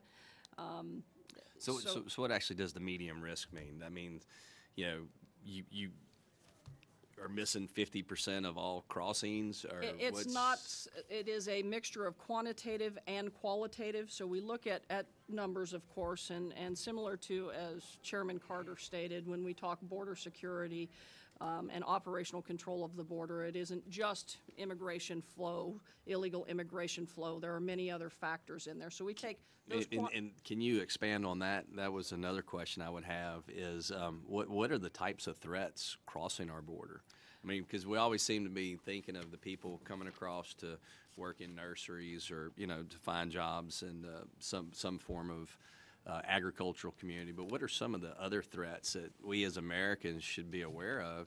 And that's why we need to secure our border and protect Americans and our families. So, uh, uh, we have many criminal aliens, meaning individuals who have, beyond, um, to Mr. Homan's point, the fact that they are violating the law by entering the country illegally, they have committed some other crime as well. Um, So those, those individuals, of course, are our top priority for us if we come in contact with, with criminal aliens to get them prosecuted and, and uh, So, so properly there's, there's removed. drug trafficking, there's There's drug sex trafficking, trafficking, there's there are- gun trafficking. Yes, sir. There's all kinds of threats coming across our border. What, what about foreign nationals and possible, you know, people that are, um, you know, may want to do us harm? Have y'all apprehended any? We have, those numbers are small, but that is something that is a top priority for us, and we work very closely with our partners at ICE and with DOJ, uh, uh, Department of Justice as well, when it comes to any um, individuals of, uh, of specific interest there, yes. You, you mentioned, um, so there's authorization and appropriations for five thousand additional agents, and you, you mentioned hiring surge. How long is it gonna take your agency to advertise, identify, vet, train, um, five thousand uh, additional agents? Um, uh, That is a, a a very good question, and of course, for F- fiscal year 18, we have asked to, to- for funding to support the hiring of 500 additional Border Patrol agents. Um, Similar to um, uh, what Mr. Wagner stated, we are below um, where we had been at our highest level, our 21,370. We're down about 1,800 agents right now. Um, So that with an additional 5,000 is going to take us a little bit of time to do. But we are ramping up our recruitment and our hiring efforts, um, have been wor- working very closely, closely with our human resource management team, and some of the funding that you all have, have provided uh, has been supporting that effort. It is a top priority for us to ensure that we get the best quality people and ensure that we have no lowering of standards. Uh, So it's going to take us a little bit of time to do that. The 500 is a good start for us in fiscal year 2018. Thanks, Chief. And, and one of the reasons I asked that is because I know that the National Guard has been utilized on past occasions, and I think the, the National Guard still has probably an active role, and I think it started with Operation Jumpstart with um, President Bush, and then President Obama also added additional uh, National Guard members. And, you know, I, I think when you said surge, I'm thinking the surge that we did in Iraq and Afghanistan with National Guard troops, and we were extremely successful in turning the tide of, of the war in both of those countries. And I see, you know, in the Guards, what, 400,000 people in the National Guard, um, 300,000 in the reserve component. I see a resource just sitting there for you to, to, I mean, I know they can't do law enforcement functions, but they can do everything else. They can do intelligence, surveillance, reconnaissance. They can, you know, do vertical and horizontal construction. I mean, I, th- I think that's just a huge augmentation that's sitting there, ready and waiting, and all, all, all the, all you have to do is ask. Uh, They certainly have supported us in the past, and they currently support us in, in, in many fashions. Uh, To your point, ultimately, we need to get to where we have the Border Patrol agents with that law enforcement capability on the border uh, to, to be able to, to reach that operational control we're talking about. And, and that's the long-term solution, and I would just like to continue to argue, um, look at the National Guard. I know, uh, whether it's Air or Army National Guard or any state, um, you, you would have thousands of people volunteering immediately to come down there and to help secure our border in any form or fashion. Um, and because that's, they've served overseas and they're willing to protect Americans here at home as well. So thank you. Thank you, Mr. Chairman. Uh, Welcome to all of you. Uh, Mr. Homan, I'd like to uh, focus in on the question of uh, enforcement priorities and, and what kind of discretion the agency has in, uh, in determining uh, whom to um, detain and deport. Um, I've supported efforts for years, and at one point I was chairman and then ranking member of this uh, subcommittee, supported efforts for years like the Priority Enforcement Program, uh, that utilizes what we acknowledge are limited immigration enforcement resources to prioritize individuals who've, who've committed serious crimes and who pose an immediate threat to their communities.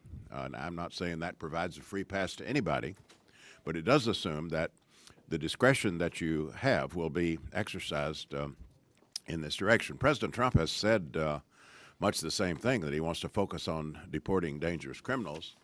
Uh, but um, I would say uh, there's um, a, good deal less focus in the actual uh, way enforcement has gone. I understand earlier this morning you said that the budget will allow you to interpret, to, to implement Trump's uh, enforcement priorities.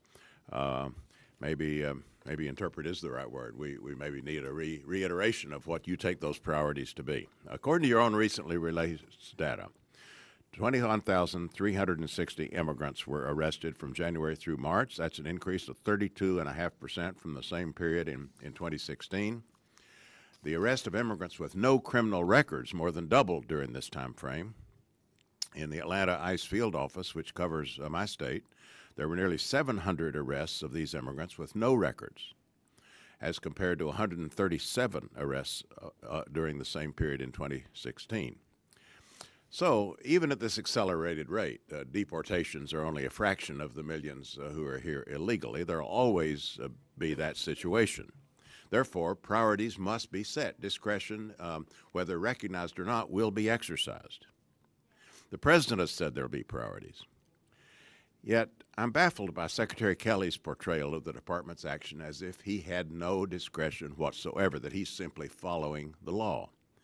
He got pretty defensive about this. I'm quoting him here.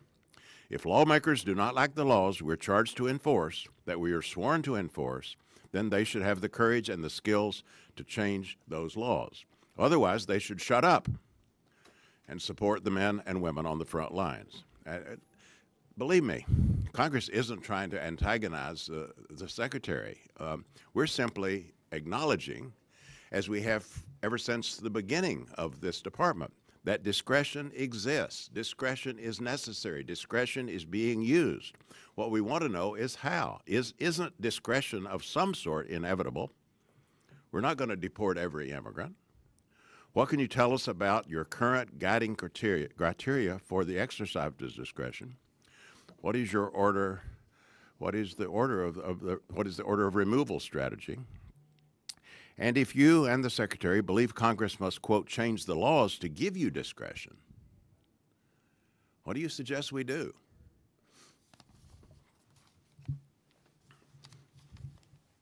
Well, as I testified earlier, the priorities uh, within the executive order are listed. Uh, we prioritize criminals and national security threats first. Uh, then we look at fugitives, those who enter the country illegally, been ordered removed by an immigration judge, which means they, they've had their day in court and their due process, They've been ordered removed by a federal judge, and they, they fail to depart. They're, we call them immigration fugitives. There's some that uh, are also a priority, which weren't a priority on the past administration unless they became a fugitive after January 1st, 2014. And that took over 400,000 people off the table that had their day in court that we basically weren't looking for.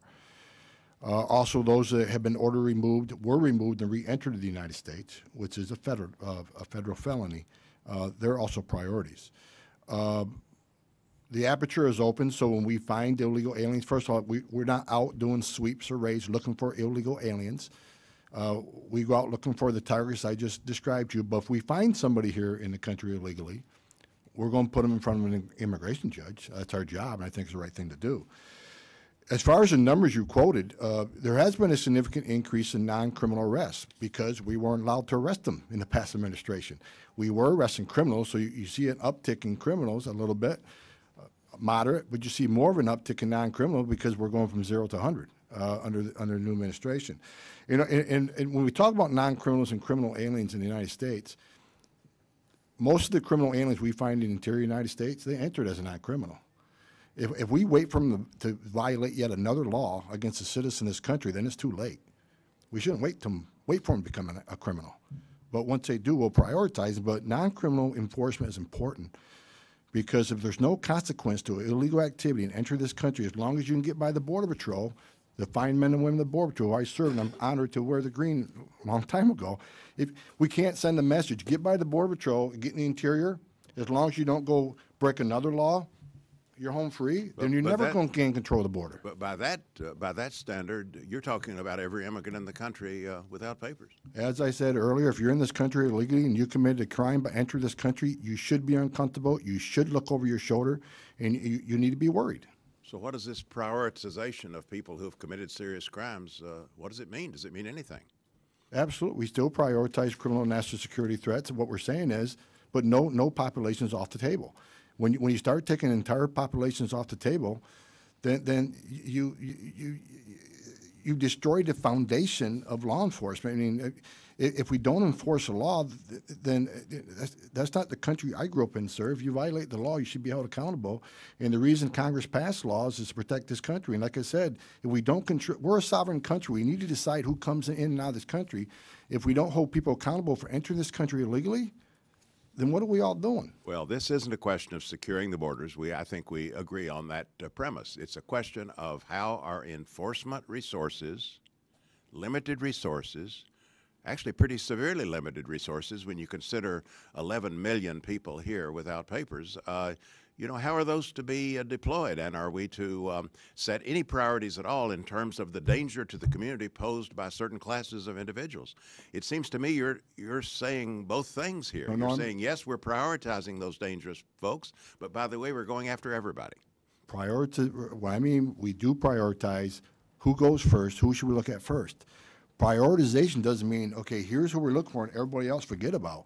We look for these people first, but these people should be on the table. I mean, it's, it's meaningful enforcement. We do prioritize, the number speaks for itself. But if, if we're really serious about criminal aliens, making sure we, we get them off the street, then uh, Congress can certainly help me dealing with sanctuary cities that don't want to help us with criminal aliens, give me access to jails that don't want to help me uh, remove criminal aliens, and and and and doing things that helps me put my uh, put the, the, the men and the men and women of ICE. Put them in a safer position rather than arresting an illegal alien and a criminal alien in a county jail, in a safety and security county jail. They got to go knock on a door.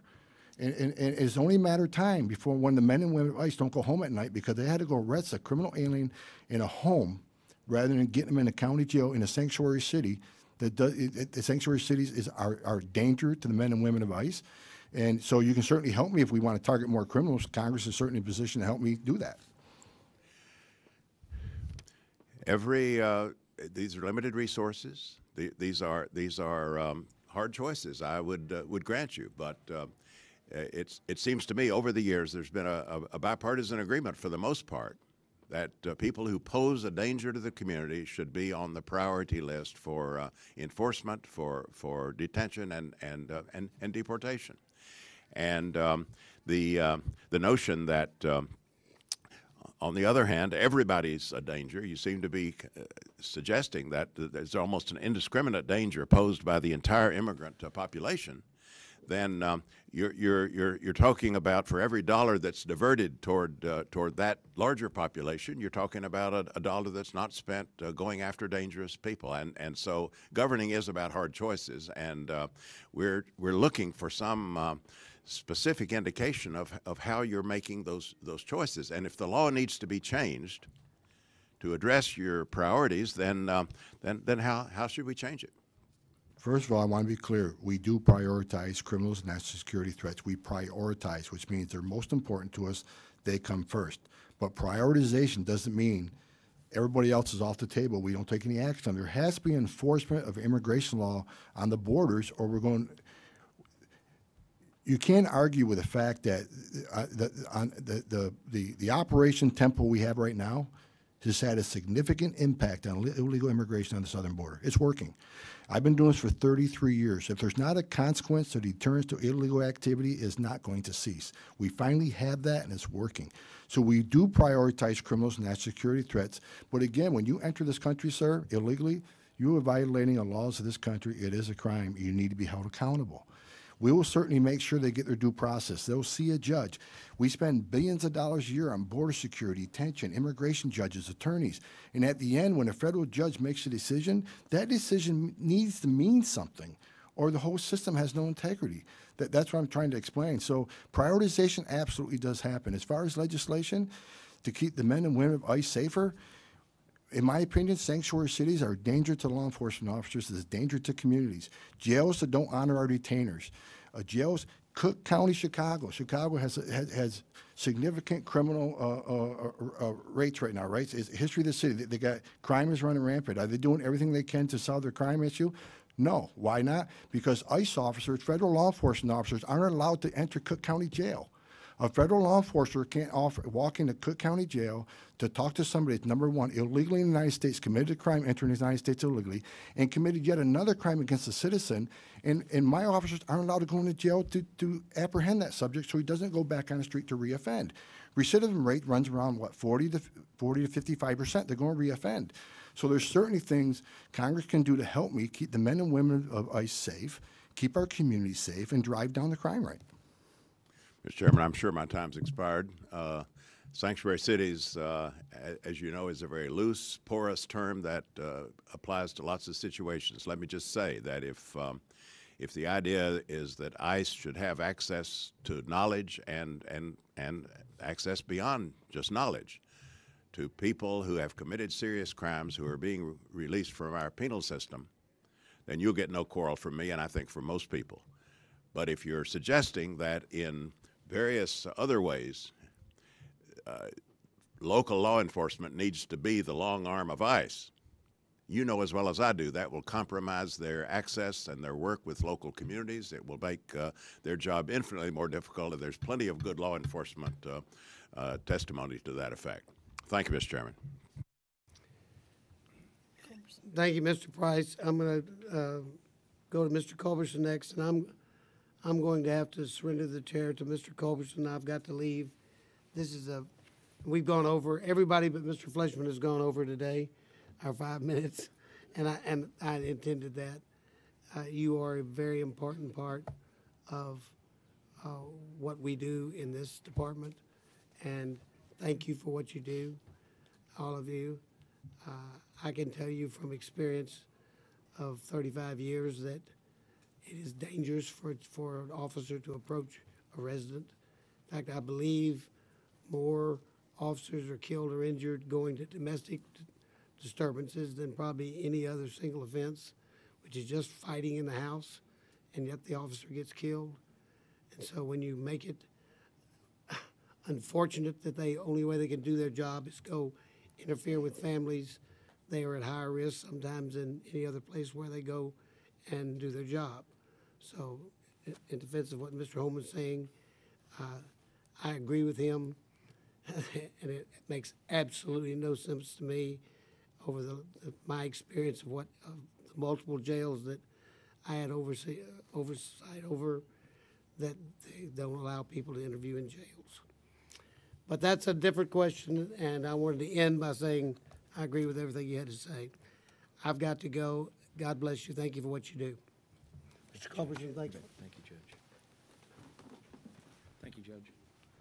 Uh, Director Homan, uh, uh, Commissioner Wagner, uh, Chief Provost, I want to thank you on behalf of the people of the United States for your service in protecting us. Chief uh, uh, Director Homan, you're exactly right. we're a nation of laws, and if the law is not enforced, if there's no consequence to illegal activity, there's no way to get it under control.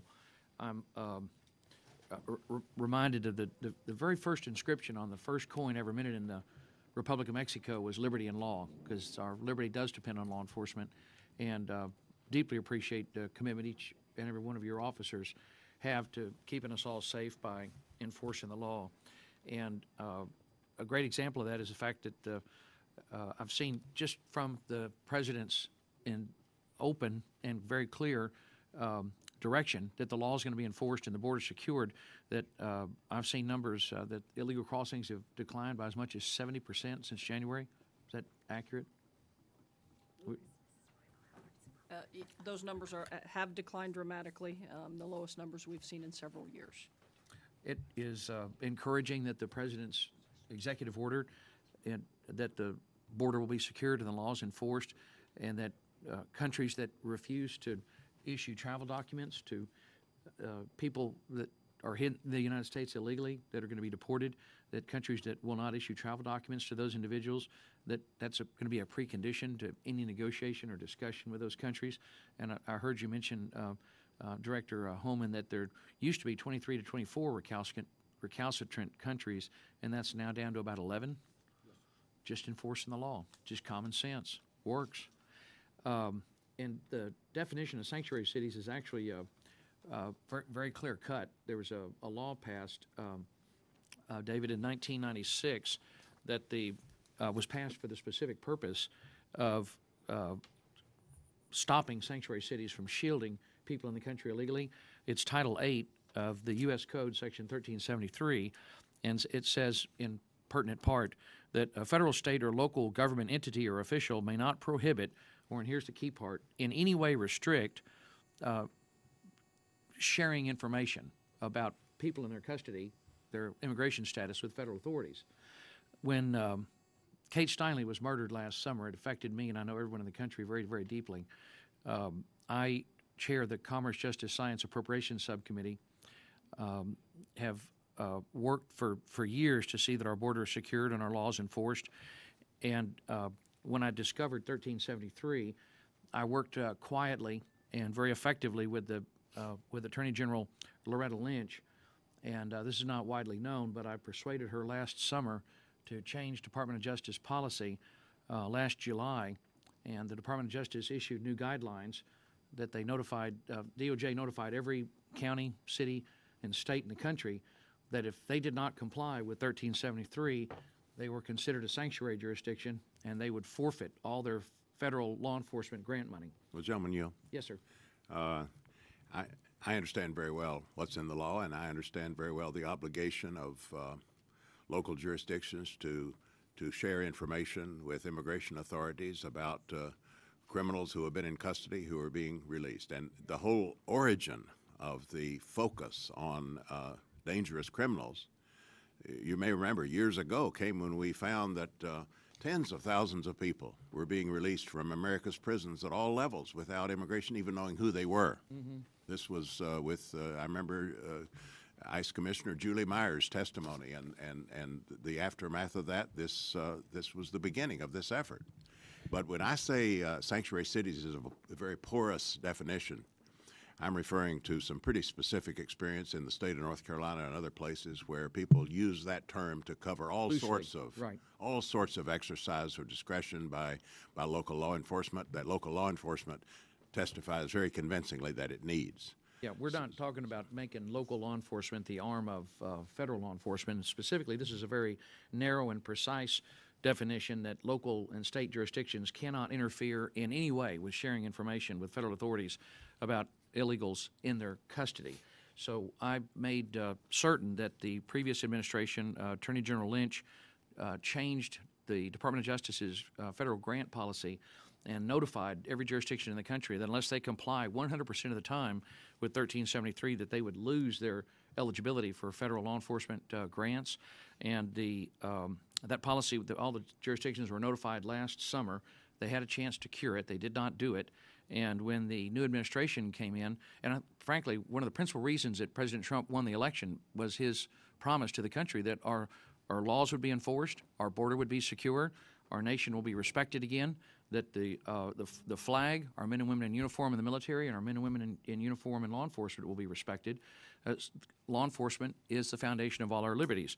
And the um, uh, Department of Justice uh, Inspector General, at my request, uh, certified the top 10 sanctuary jurisdictions in the country, which includes the entire state of California. Uh, so this summer, the uh, state of California will lose a minimum of 68 $69 million in federal law enforcement grant money unless they repeal their state law uh, shielding illegal aliens in state jails in uh, state prisons in California. The state of Connecticut will lose all their federal law enforcement grant money this summer unless they repeal their law. Uh, New, uh, Orleans already changed their policy. As you said, they're, they're recalcitrant, recalcitrant countries that refuse to issue travel documents have already changed their policy. New Orleans has folded, and they have changed their sanctuary policy. Miami uh, Dade changed their policy, so they uh, agreed that if they, they don't want to lose the federal money. New York City will lose $15 million this summer. Philadelphia will lose $1.7 million this summer. Cook County will lose a minimum of $3.7 million this summer. Milwaukee will lose about a million dollars, and Clark County, Nevada will lose 1.7. Receiving federal money is not, uh, uh, you know, receiving federal money is optional. And the policy that I was able to institute as chairman of the CJS subcommittee, and that President Trump and Attorney General Sessions and the President of the United States have now broadened to Homeland Security grants as well. If you want federal money, follow federal law. It's very simple. We do this with our kids. If you, my money, my rules. Uh, this is very simple. So, uh, Director Homan, I wanted to ask you. Uh, I've given you a copy of the the uh, memo that uh, I prepared to list the initial ten sanctuary jurisdictions that I already had certified as ineligible for federal law enforcement grants. Under the President's executive order, how many additional jurisdictions are you? Do you believe you could have uh, that you could identify that are in violation of 1373 that would no longer be eligible for uh, federal law enforcement grants or Homeland Security grants? I don't have that number in front of me, but I think it's well over 100 that have some sort of policy uh, where they don't honor detainers or, or allow us access to the jails. I have to get back to you on the exact number. And are, you're in the process of identifying those right now so that they Yes. can be certified by the Attorney General? Yes, we got what we called the decline detainer report, which was a requirement through the executive order that we started. We, we, we pulled it back because there was some data issues with it. We've been meeting with the National Sheriff's Association last few weeks.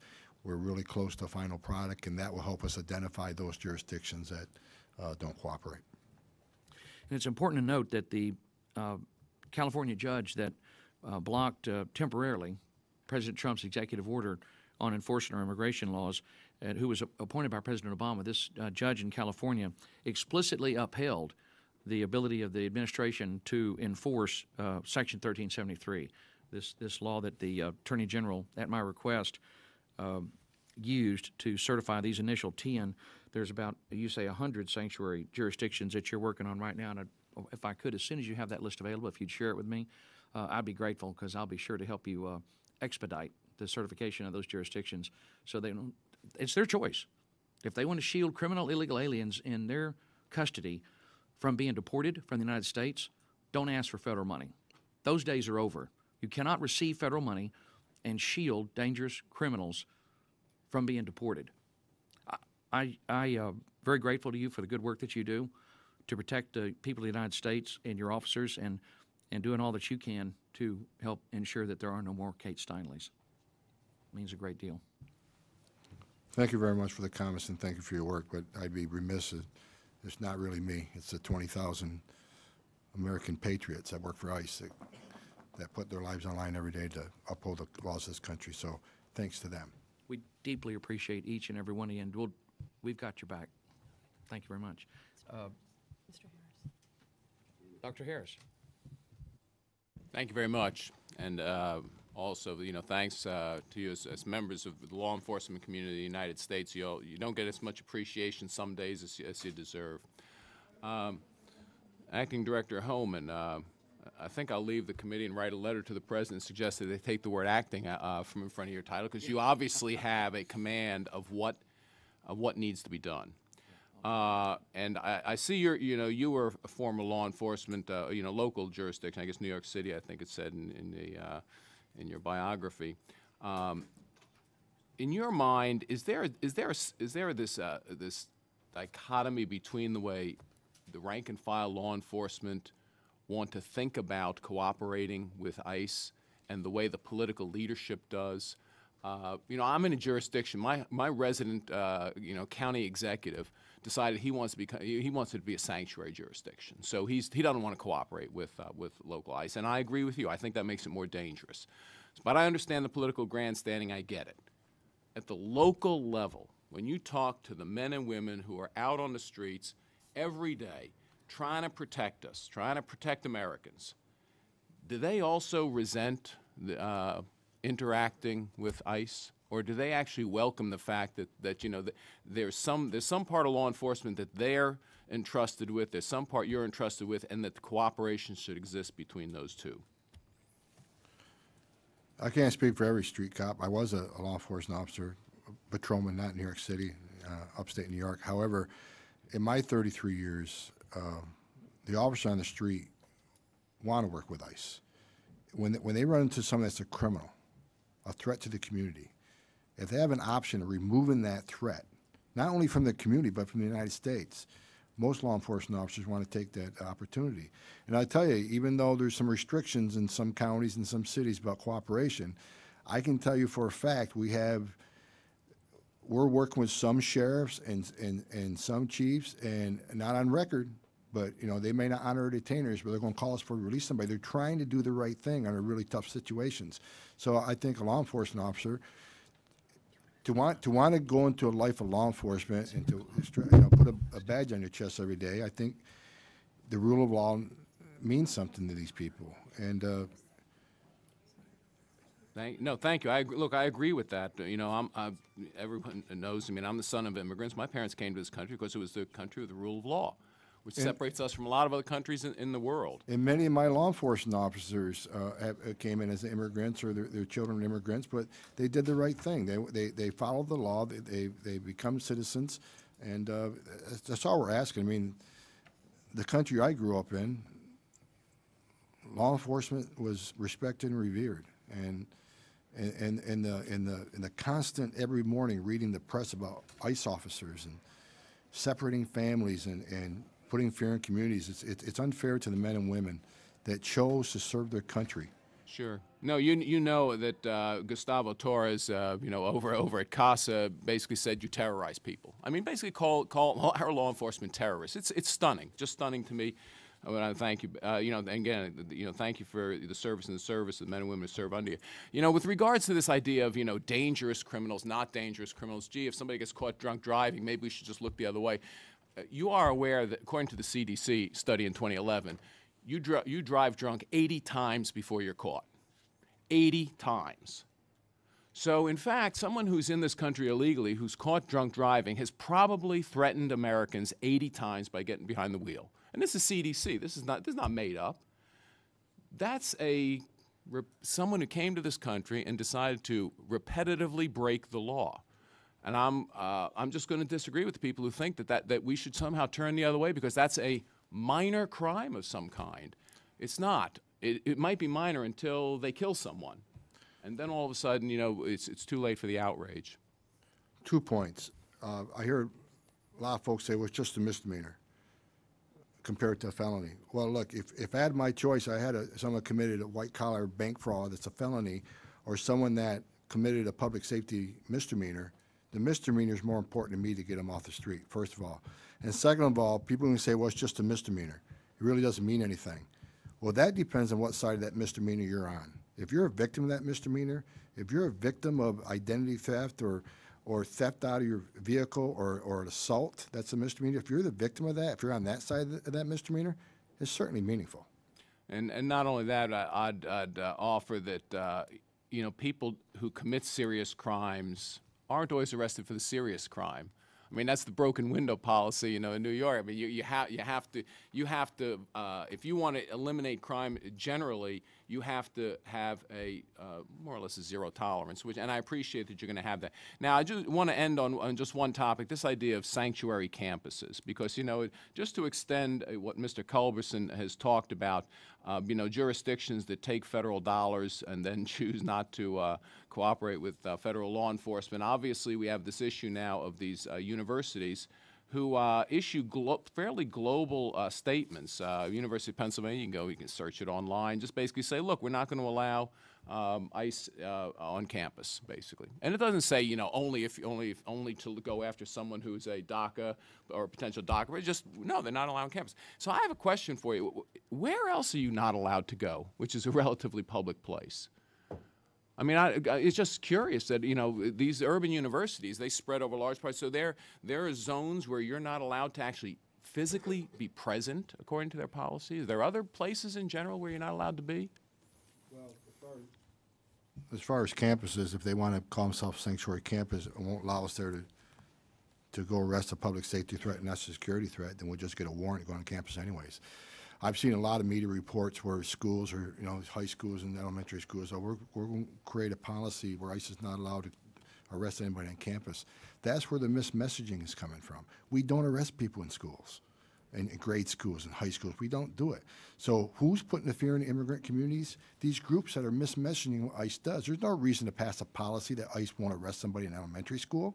We wouldn't do it anyways. We, and that's why I have a sense of location policy. Like I said, you know, it, the 20,000 men and women that work for ICE, they're law enforcement professionals, but they have hearts.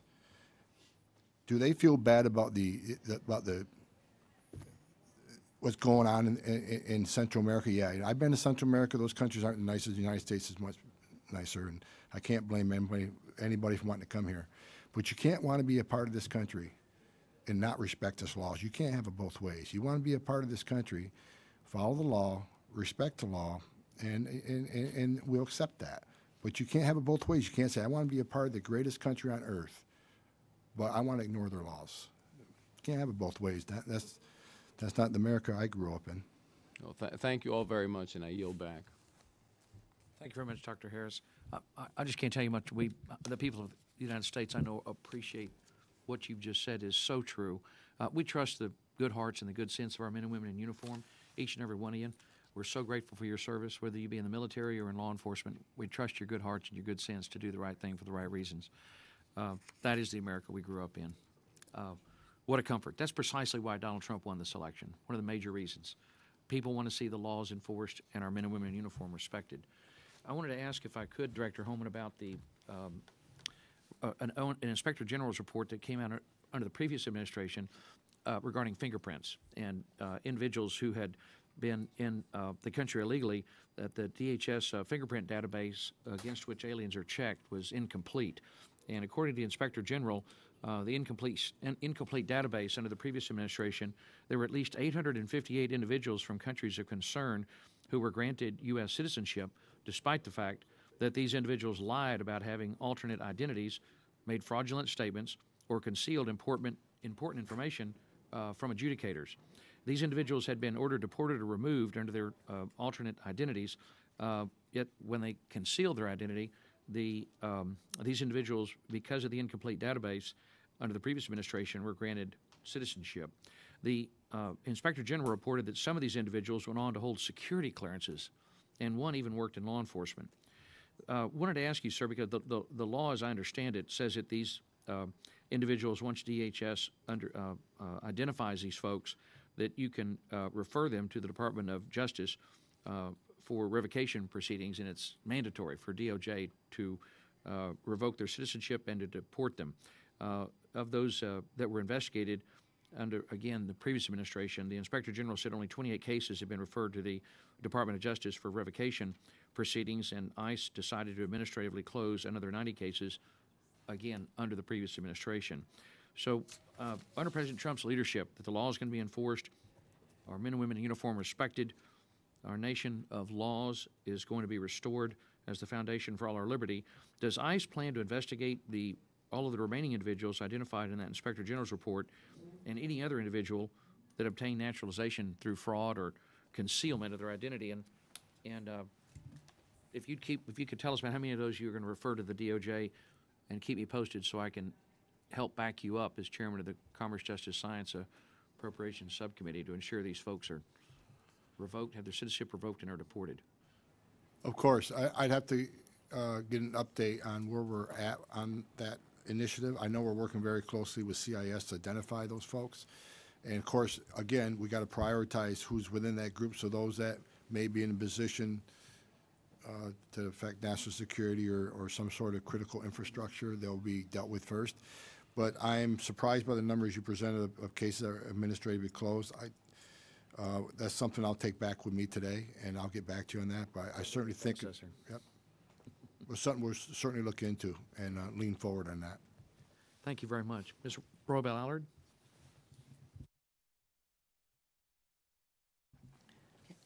Thank you, Mr. Chairman. Uh, uh, First of all, first of all, let me just say that, you know, I have law enforcement in my own family. So I have firsthand knowledge of the dedication and- and, and the courage of law enforcement officers, the danger, dangers that they face, and the sacrifices not, that not only they make, but their families. But that doesn't mean that we, as elected officials and members of Congress, shouldn't question, challenge, get clarification, or recommendations on policies and laws. And um, as policymakers, in doing so, we shouldn't need uh, to apologize for doing so. And the fact is that, as was mentioned by another member of this committee, part of the reason that we're in this situation is because Congress itself isn't doing its job. Much of this could be addressed by passing comprehensive immigration uh, reform. And the result of not doing what we have an obligation to do results in, in what uh, some of the things that Mr. Culberson has said, uh, which really goes in many ways contrary to the very thing that we're trying to do. By taking federal money away from local law enforcement, only is going to make it harder for law enforcement to go after the real criminals, the murderers, the rapists, the, the drug lords. And so this is just an example of what the consequences are of Congress not doing its job. Having said that, um, many of the questions that uh, I already have have already been asked, but I would uh, like to uh, ask uh, you, Mr. Uh, Wagner, uh, regarding the issue of credible fear claims and CBP policies. The number of individuals and families attempting to cross our southern border has decreased over the last several months, but many of those still coming are desperately fleeing violence in their homes and uh, their countries, violence that is often directly targeted at them and their families.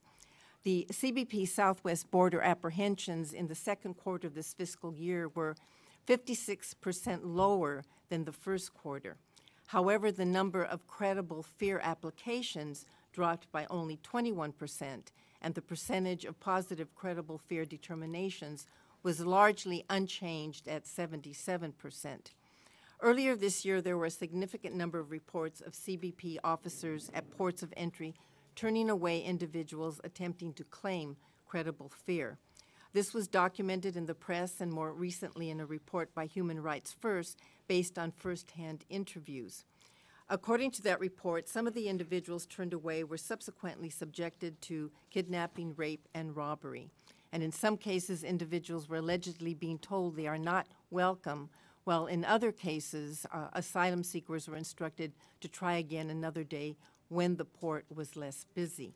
Uh, it is my understanding that CBP is legally required to process credible fear claims when they are presented, and it is not authorized to turn back individuals claiming fear even temporarily. Uh, in addition to commenting on those allegations, what steps can be taken or have been taken to ensure this is not occurring or continuing to occur at the ports of entry, such as is there training or other guidance uh, reminding CBP personnel how they are required to treat individuals who express fear? It was a, it was a question really of the space available to process people. And our facilities were at capacity uh, to be able to take more people in, go through the processing, and turn them over to ICE um, uh, after that. And the, the, the, the building was full, and we could not humanely and safely and securely hold any more people in, in our space. Uh, the ports of entry converted administrative space to be able to hold people in a, in a, in a, as comfortable as manner as we could. Um, you know, we, we converted a lot of space to be able to do that. Um, the, the ports of entry just do not have the kind of space to hold large volumes of people uh, during the processing and then holding them uh, until they're picked up. So we worked a process out with the Mexican authorities to be able to limit how many people a day could come across the border into our facility to be able to be processed. But it was a question of us not wanting to do it.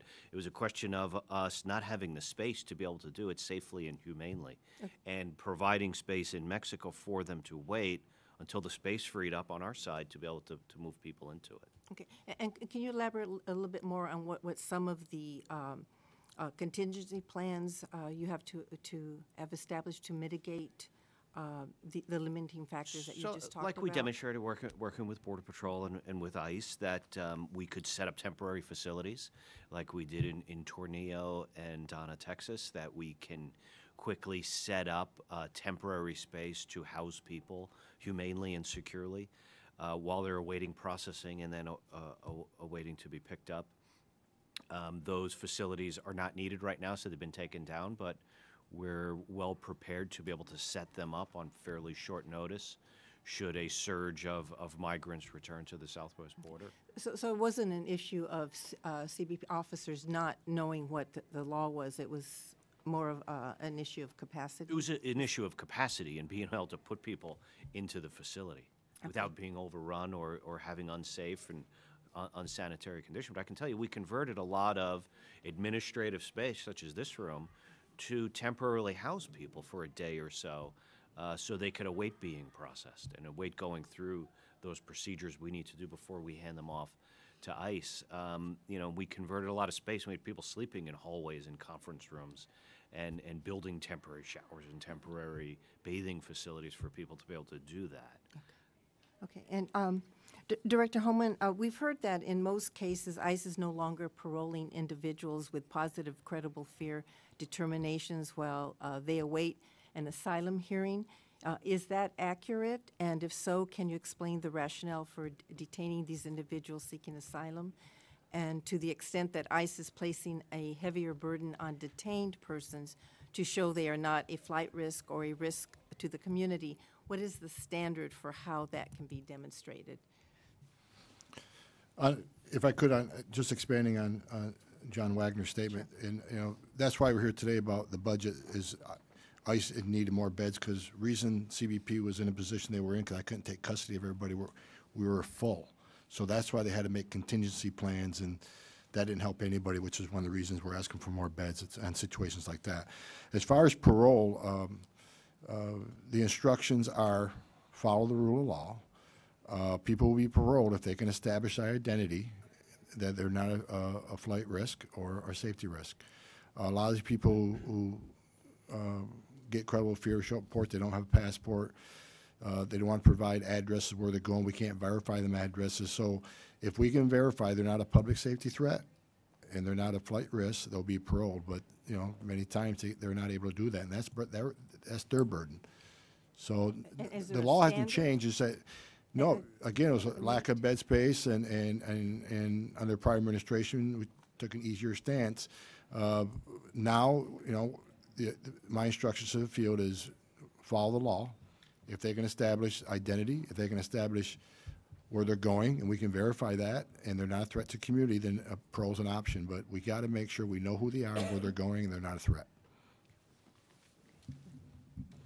Thank you. Dr. Harris? Thank you very much. Um, Mr. Homan, how many uh, counties in, in the United States are what you consider sanctuary counties? I guess if we define them as not cooperating with detainer requests. You know, I should know that number, I just don't. I think, I think it's well over a hundred, uh, we've identified, but I can get back to you. I mean, Okay, if you can get I back to have me, I that on my that. desk, so I can get back to you before the end of the day. Please, if you can. You know, I find it's interesting because the claim is made, you know, that the sanctuary counties uh, have lower crime, and, and that, that'll fit just perfectly with Mr. Culberson's uh, position because if, you- if you have less crime, you don't need federal money. I mean, federal money's kind of scarce. You know, if you want to be a sanctuary jurisdiction, claim you have less crime. That's great. Let's send less federal money there. More, more for the other jurisdictions. Um, What I think, what I think is even more significant, sir, is, is those jurisdictions don't, that don't allow me access to their jails. But on the other hand, they get SCAAP funding from DOJ for housing people in the country illegally. It does not make sense to me that one hand the government wants to give them money to hold them, the other hand the a government's not allowed access to the, to the. No, I, I agree. Yeah, no, I know. Jim and Gil, just for the record, I want to make it clear that the policy I had instituted last summer cuts off SCAAP funding, Byrne JAG funding, and COPS funding to every sanctuary jurisdiction in the United States. If you want federal money, follow federal law. Thanks. Uh, again, Mr. Homan, uh, the uh, idea of visa overstays, I mean, the list, uh, you know, fiscal year 16, I mean, you have visa overstays from countries in the hundreds, uh, from countries that, that have, you know, rampant uh, terrorist activity or terrorist training grounds. What is, uh, what is the, can you, what is ICE doing to find and repatriate individuals who've overstayed their visas? Because I think in, in some cases from some countries, this could really be a threat. We get data from uh, CBP and from SEVIS on those that overstay their visas. Uh, They're prioritized within Homeland Security investigations. They'll look at a series of factors, which I can't discuss here, and what makes them a priority for national security. They'll take those cases for further investigation and, and immediate action. Those that don't rise to that level of national security are given to our uh, Law Enforcement Support Center, uh, Fugitive Operations Center in Burlington, Vermont, to run through databases, see if they have criminal history, and see if they're you know, a danger to the community, and they'll be prioritized. Um, a lot of them that don't fall within those ranks were not worked uh, in, uh, over the past years. Uh, I've committed to this secretary that is something we're going to do now. So the non-immigrant visa overstays are now something that we're going to be actively working. HSI will take the priority cases, national security. ERO will take public safety threats thirst first, but everybody else will be on the table.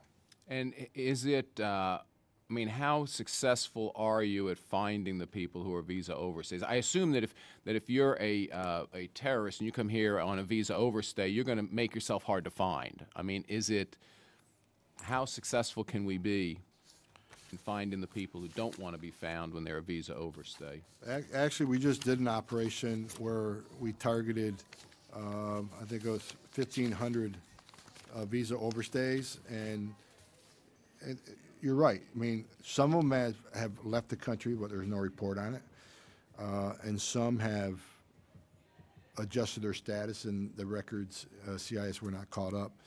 Many we can't find. Many, they're in the wind. Um, Anybody that rises to the level of, we think has a national security concern or public safety concern, they're, they're worked right away. We'll, we'll, we'll pull out all stops, try to locate them, and, and the, the targeting center is very good at that.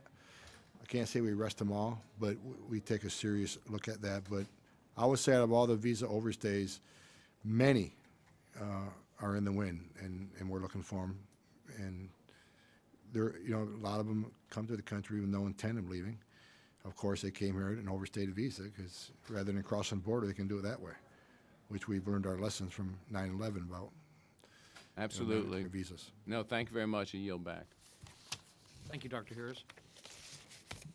Thank you, Mr. Chairman. Yes, sir. I uh, want to uh, seek a little further clarification on this uh, sanctuary cities question. I think it'll be to our uh, to our benefit to, to have that. But I but I want to make a couple of points before I do that. First of all, I want to associate myself with Mr. Roybal Allard's uh, comments about the high esteem and respect in which we hold our military, our law enforcement, including immigration enforcement that's not what our questions are about, and I think it's uh, not such a good idea to suggest otherwise or imply otherwise. I, uh, as, as a representative of a, of a district in North Carolina known for uh, low crime rates and for effective law enforcement, have regularly confer with uh, with law enforcement. I think I'm considered a strong supporter. Had a had a had a meeting um, with law enforcement uh, from around the uh, the district only uh, about a month ago, and and I must say the questions I raise about so-called sanctuary cities and how vague that definition is, Those come from those people. That's the source of my questions. This isn't something I just dreamed up. They're also, by the way, very concerned about uh, the administration's proposed cuts in uh, in the in in grant funding under FEMA and and many other uh, many other issues. But please, uh, the questions we raise about the rule of law and about law enforcement are, are not about whether we respect law enforcement or respect the sacrifices and the risks that people take. Hope everybody understands that. Well, sir- Secondly, Sir, can I respond to that? in, in just a moment. Secondly, the rule of law. There's been some suggestion here today that the law is the law is the law. Well, the rule of law is um, is, is a basic principle of this uh, country, and and again, we take this principle with our House Democracy Partnership. We take this into work with uh, legislatures in developing countries all over the, all over the world. Um, but the rule of law has many aspects. Yes, it's about maintaining border security. It's about maintaining a legal and safe uh, immigration system.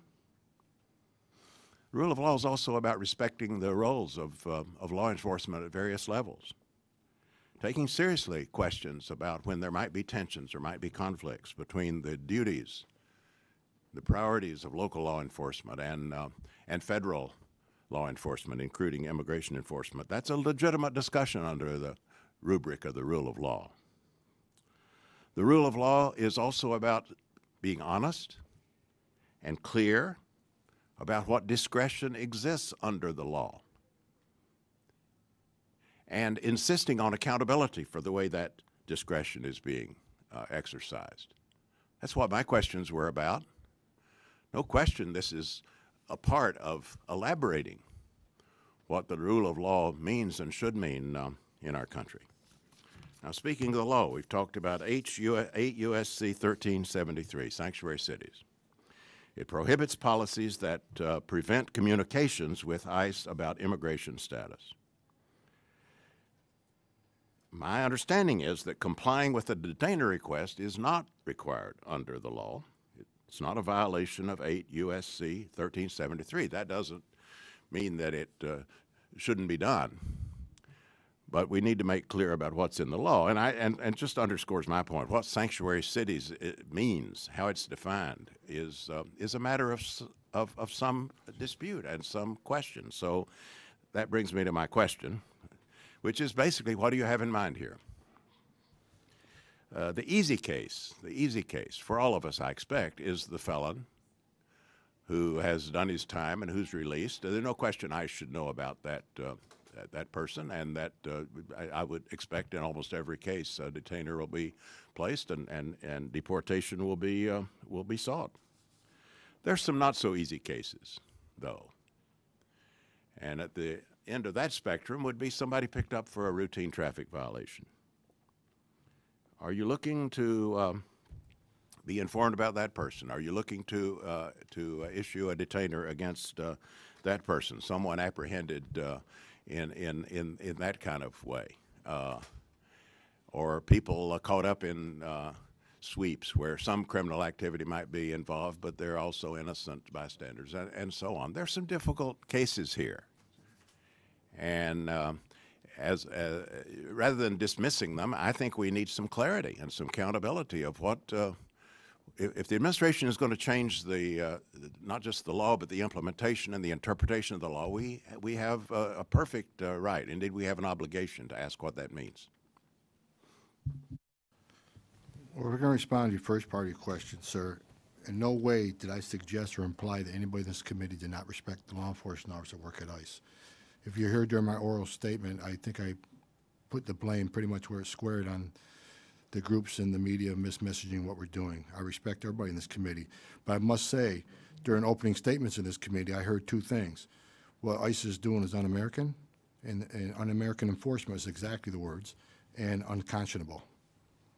That's what I take uh, difference to, is that the men and women of ICE are very American, and what they're doing is not un-American. They're enforcing the laws enacted by this Congress.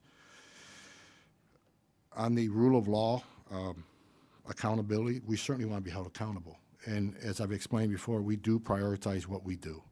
Uh, we, we- you know, criminals and, re- recent uh, criminals and, and public safety threats and national security, national security threats still are the priority, and, and we make sure they're a priority. When we, when the EOs first rolled out, we did an operation in five states, and I came up on the hill here met with like 50 congressional representatives that claimed that we're just out arresting anybody we could find. I showed them the same numbers. I can tell you what today, 75% of those people we arrested were, had a criminal history. So the men and women of ICE are executing the mission within the priorities. And as far as prosecutorial discretion, the men and women of ICE exercise, prosecutorial discretion every day. I can mention one operation we did in California on MS-13 gang members, and other people during the uh, service those warrants were found that weren't gang members, but they were illegally in the United States. Several of them were recent mothers, had babies in arms. We didn't take them into custody. We, we, we put them in, you know, we did a mail-out NTA. When we went out arresting last year, uh, uh, family groups and UACs that have final orders out, known as Operation Border Guardian and Border, Border Resolve, you heard about us out, you know, arresting these families, destroying communities. What you didn't hear is that 27 families we walked away from because they had infants, uh, breastfeeding infants. So the men and women of, of, of ICE uh, exercise prosecutorial discretion every day. I, I am very, I commend you for that answer. Of, of course you do.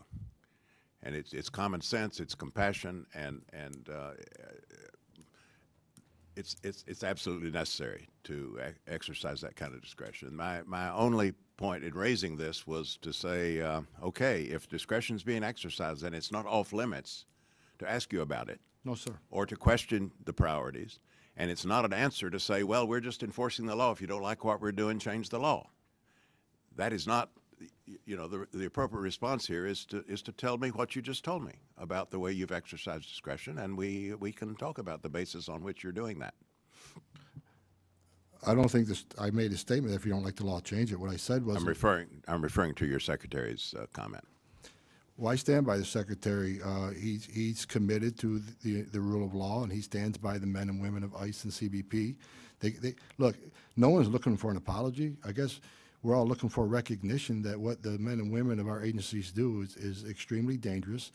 They're enforcing the laws, and, and they're true Americans. And, and to use comments like un-American enforcement and unconscionable, I think it's, it's unfortunate that, you know, we can't, and I'm not saying, sir, anybody in this committee is vilifying the men and women in law enforcement, but all you gotta do is pick up the paper every day and read the stories about CBP and ICE, about what we do. And- and I'm just trying to get the message out.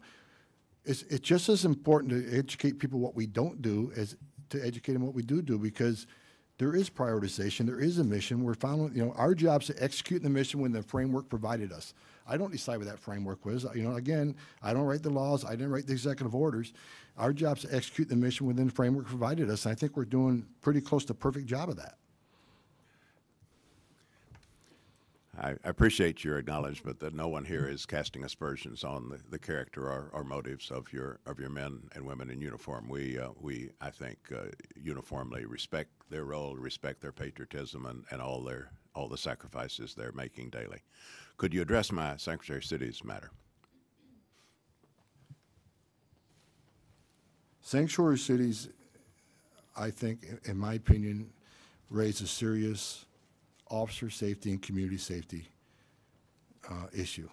For every person that I can arrest in a county jail in a sanctuary city means that a law enforcement officer has to knock on the door of a home to arrest somebody that has a criminal history when they could have arrested them in the safety and security and privacy of a county jail. Okay, but my question had to do with uh, what you have in mind here in terms of, um, of, of whom you're seeking information on, whom you're looking to issue detainers. Uh, and you remember I raised the question about people picked up in, uh, for, for minor traffic violations uh, uh, or pick, people picked up incidentally in, in, the- in the process of a sweep, something of that sort.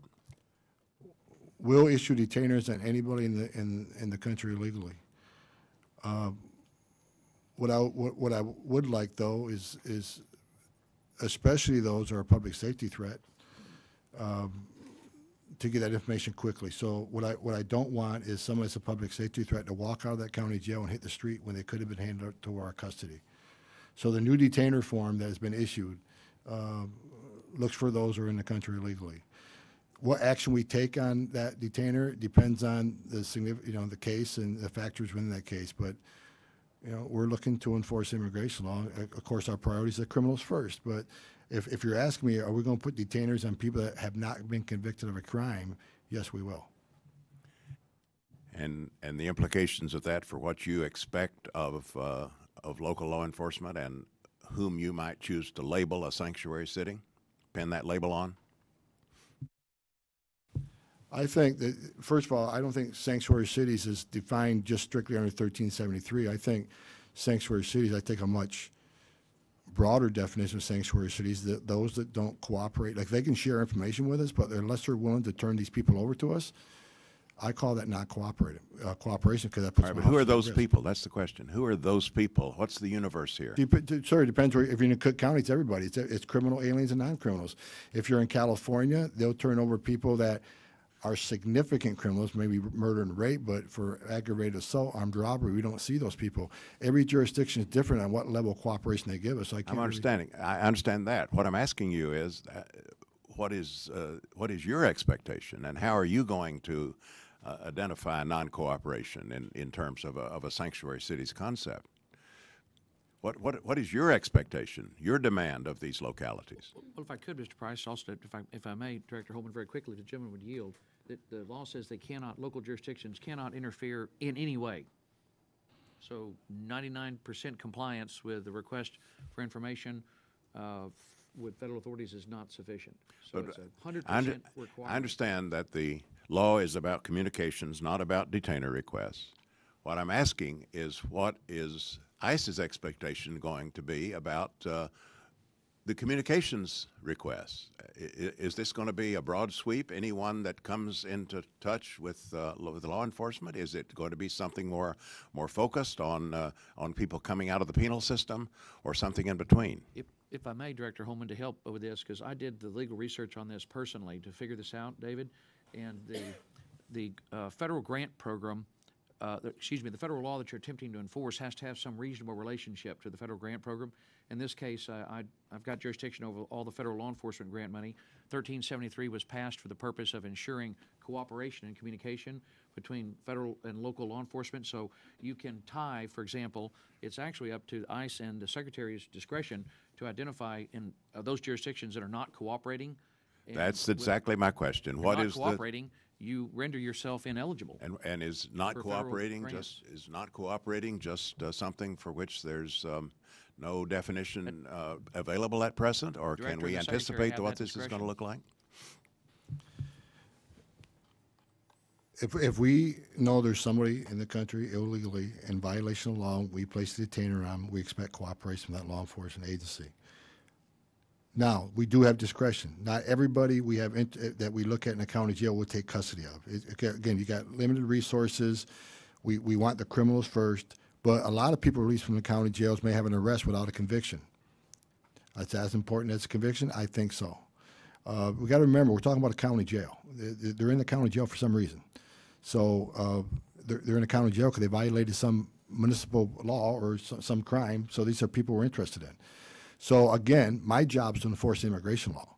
So I certainly would like anybody that's in a county jail that's in violation of immigration law to be turned over to me with a priority on criminals.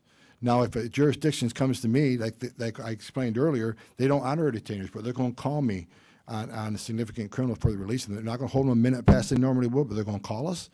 Uh, certainly, I would welcome that. I, that's better than nothing. But I would like full cooperation. I mean, for 60 years, every law enforcement agency in this country except the detainers. Is the only uh, issue has, has arisen the last two years. So I, I certainly would like to people to help me enforce the law. I mean, and I'm, we're not asking to be immigration officers. We're asking for communication on somebody that's here in violation of law that can be turned over to us for uh, to take action. I know our time is expiring here, but I, I, I of, of course, we understand uh, what you just expressed in terms of what your priorities would be. I do think it leaves a lot of um, a lot of uncertainty, though, as to uh, what you might label uncooperation, and what therefore might bring a municipality or a county under the um, under the label of a sanctuary jurisdiction, and therefore uh, put in jeopardy their uh, support for various uh, programs that they that they value. Uh, speaking of the rule of law, part of the rule of law is uh, is predictability and and un- and certainty and, and, and accountability. And um, I, I- I hope we're not looking for an overly broad discretion here on the on the part of uh, of ICE to, um, to to to slap that label on a on a jurisdiction. I think, in fact, we we have a right to uh, expect and demand um, a, a, a precise uh, notion of of uh, what you regard as uh, as permissible uh, behavior under the under the law, and and and what would lead you to designate a, a sanctuary city. Right now, I can just tell you, uh, there's lots of uncertainty and anxiety uh, about this among municipalities that have a wide range of practice. It, it is not one size does not fit all. And, and so going forward, we are going to need some clarity on this. Thank you, Mr. Price. I can tell you that the, the um, uh, 1373, the definition of sanctuary cities is, in the first instance, very clear under 1373 that uh, local and state jurisdictions cannot interfere in any way. So it is a 100% compliance requirement that 100% of the time, uh, state and local jurisdictions have to share information uh, with ICE. Under the directive that the uh, President has issued, the uh, th- this is all designed to encourage cooperation, and all of us, I know, respect law enforcement. We're, all the laws that we pass are designed to encourage local and federal law enforcement officers to communicate, cooperate, because the goal is public safety, which we're all devoted to. We're all here to make sure that our, our, our, our constituents and our, our fellow citizens are safe uh, and secure, and we, we deeply appreciate your commitment to that. And, and, and again, it's the local jurisdiction's decision uh, to walk away from the federal money. If they choose to, if they want to be a sanctuary city, that's their decision. Just don't ask for federal money. Those days are over. Yes, ma'am. But I just want to emphasize what's being said. We really do need clarification as to what is going to be considered a sanctuary city. Because I know that, like, for example, some of the, some of the cities um, in California um, may cooperate if somebody is in jail, just a- as um, Mr. Homan has been said, they will do that. But they have refused to, when they stop somebody for other reasons, a, a tr- traffic violation or something, they have refused to ask if that person or anybody that happens to be in the vehicle or wherever they're at, if, for their immigration status. And in some cases, where police have said, no, we're not going to ask people about their immigration status because, you know, it, then they're not going to want to work with us with crimes. They have been uh, tagged as a sanctuary city, where they may cooperate in the jails, but they will not cooperate um, by asking immigration status when they stop. So I, to me, that, that's just another example of why we need clarity as to what Please. designates a sanctuary city. Director Homan? I understand the confusion, and sir, I'm not trying to avoid the question. DHS leadership is working with DOJ leadership to try to come up with a, an operational meaning of what we're going to consider for operational in sanctuary cities. So that's still in discussion. As soon as we, you know, get some closer to clarity, we certainly will share it with you. But that's something that we're struggling with, right? I under, we all understand 1373, but operationally, what's it mean to us? So DHS is working with DOJ to come up with some sort of clear operational instructions to law enforcement agency on what sanctuary city is. How do we define it? But it begins with cooperation. The Berlin Cooperation, one thing I can add, sir, to 1373, not only sharing information, but allows, allow us access to the jails. Right. Because secure communities, when someone gets arrested and, they're- and they take their fingerprints, those fingerprints are bounced off DHS databases. We'll drop a detainer on somebody we have a record on. However, if you're i- illegally in the United States, you never were encountered by the Border Patrol or ICE before, we're not going to get a, a feedback from DHS database. So you can be in the country illegally, and we won't have your fingerprints. That's why we need access to the jails to talk about people who, when they came into custody, they claimed they were foreign born. We need to talk to those folks and find out, do you have status or not have status? Because a lot of criminal aliens we have not encountered before. So, you know, we need to make sure we get into the jails and talk to these folks who are lacking the biometric information to make sure we, we, we don't release those folks to the street too. So information sharing has to include access to the jails because a lot of people, we call them foreign born, foreign born no match. We don't know who they are. Yeah. We need to get in there and do an interview and find out who they are. So I think it's fair to say we all agree that the starting point is cooperation and uh, sharing information 100% of the time. Director Homan, is that basically accurate? Yes. So if uh, jurisdiction fails to cooperate, fails to share information 100% of the time, they're going to be considered a sanctuary jurisdiction under the guidelines issued by the DOJ last summer. I had this done last summer. I just didn't make a lot of waves about it. And, uh, and by the way, the other part of the policy the DOJ put in place at my request is that local law enforcement agencies have to certify under oath that they are cooperating 100% of the time or they're in violation of the False Claims Act, which is a felony punishable by five years in prison. Therefore, the city of Santa Clara, Santa Clara County, uh, which was a party to the litigation that led to the order of the uh, judge in San Francisco, uh, did not even apply for SCAAP funding, uh, COPS funding, or Byrne JAG funding. They dropped their application because they knew they were a sanctuary jurisdiction. They didn't even bother to ask for the federal money. And that's their decision. If you want to protect criminal illegal aliens in your custody, don't ask for federal money because you're not going to get it. Uh, another, one final question, if you could, uh, Director Homan. In addition to identifying for all of us those 100 jurisdictions that you consider sanctuaries, uh, because the goal here is to protect lives, so there's no more Kate Steinleys.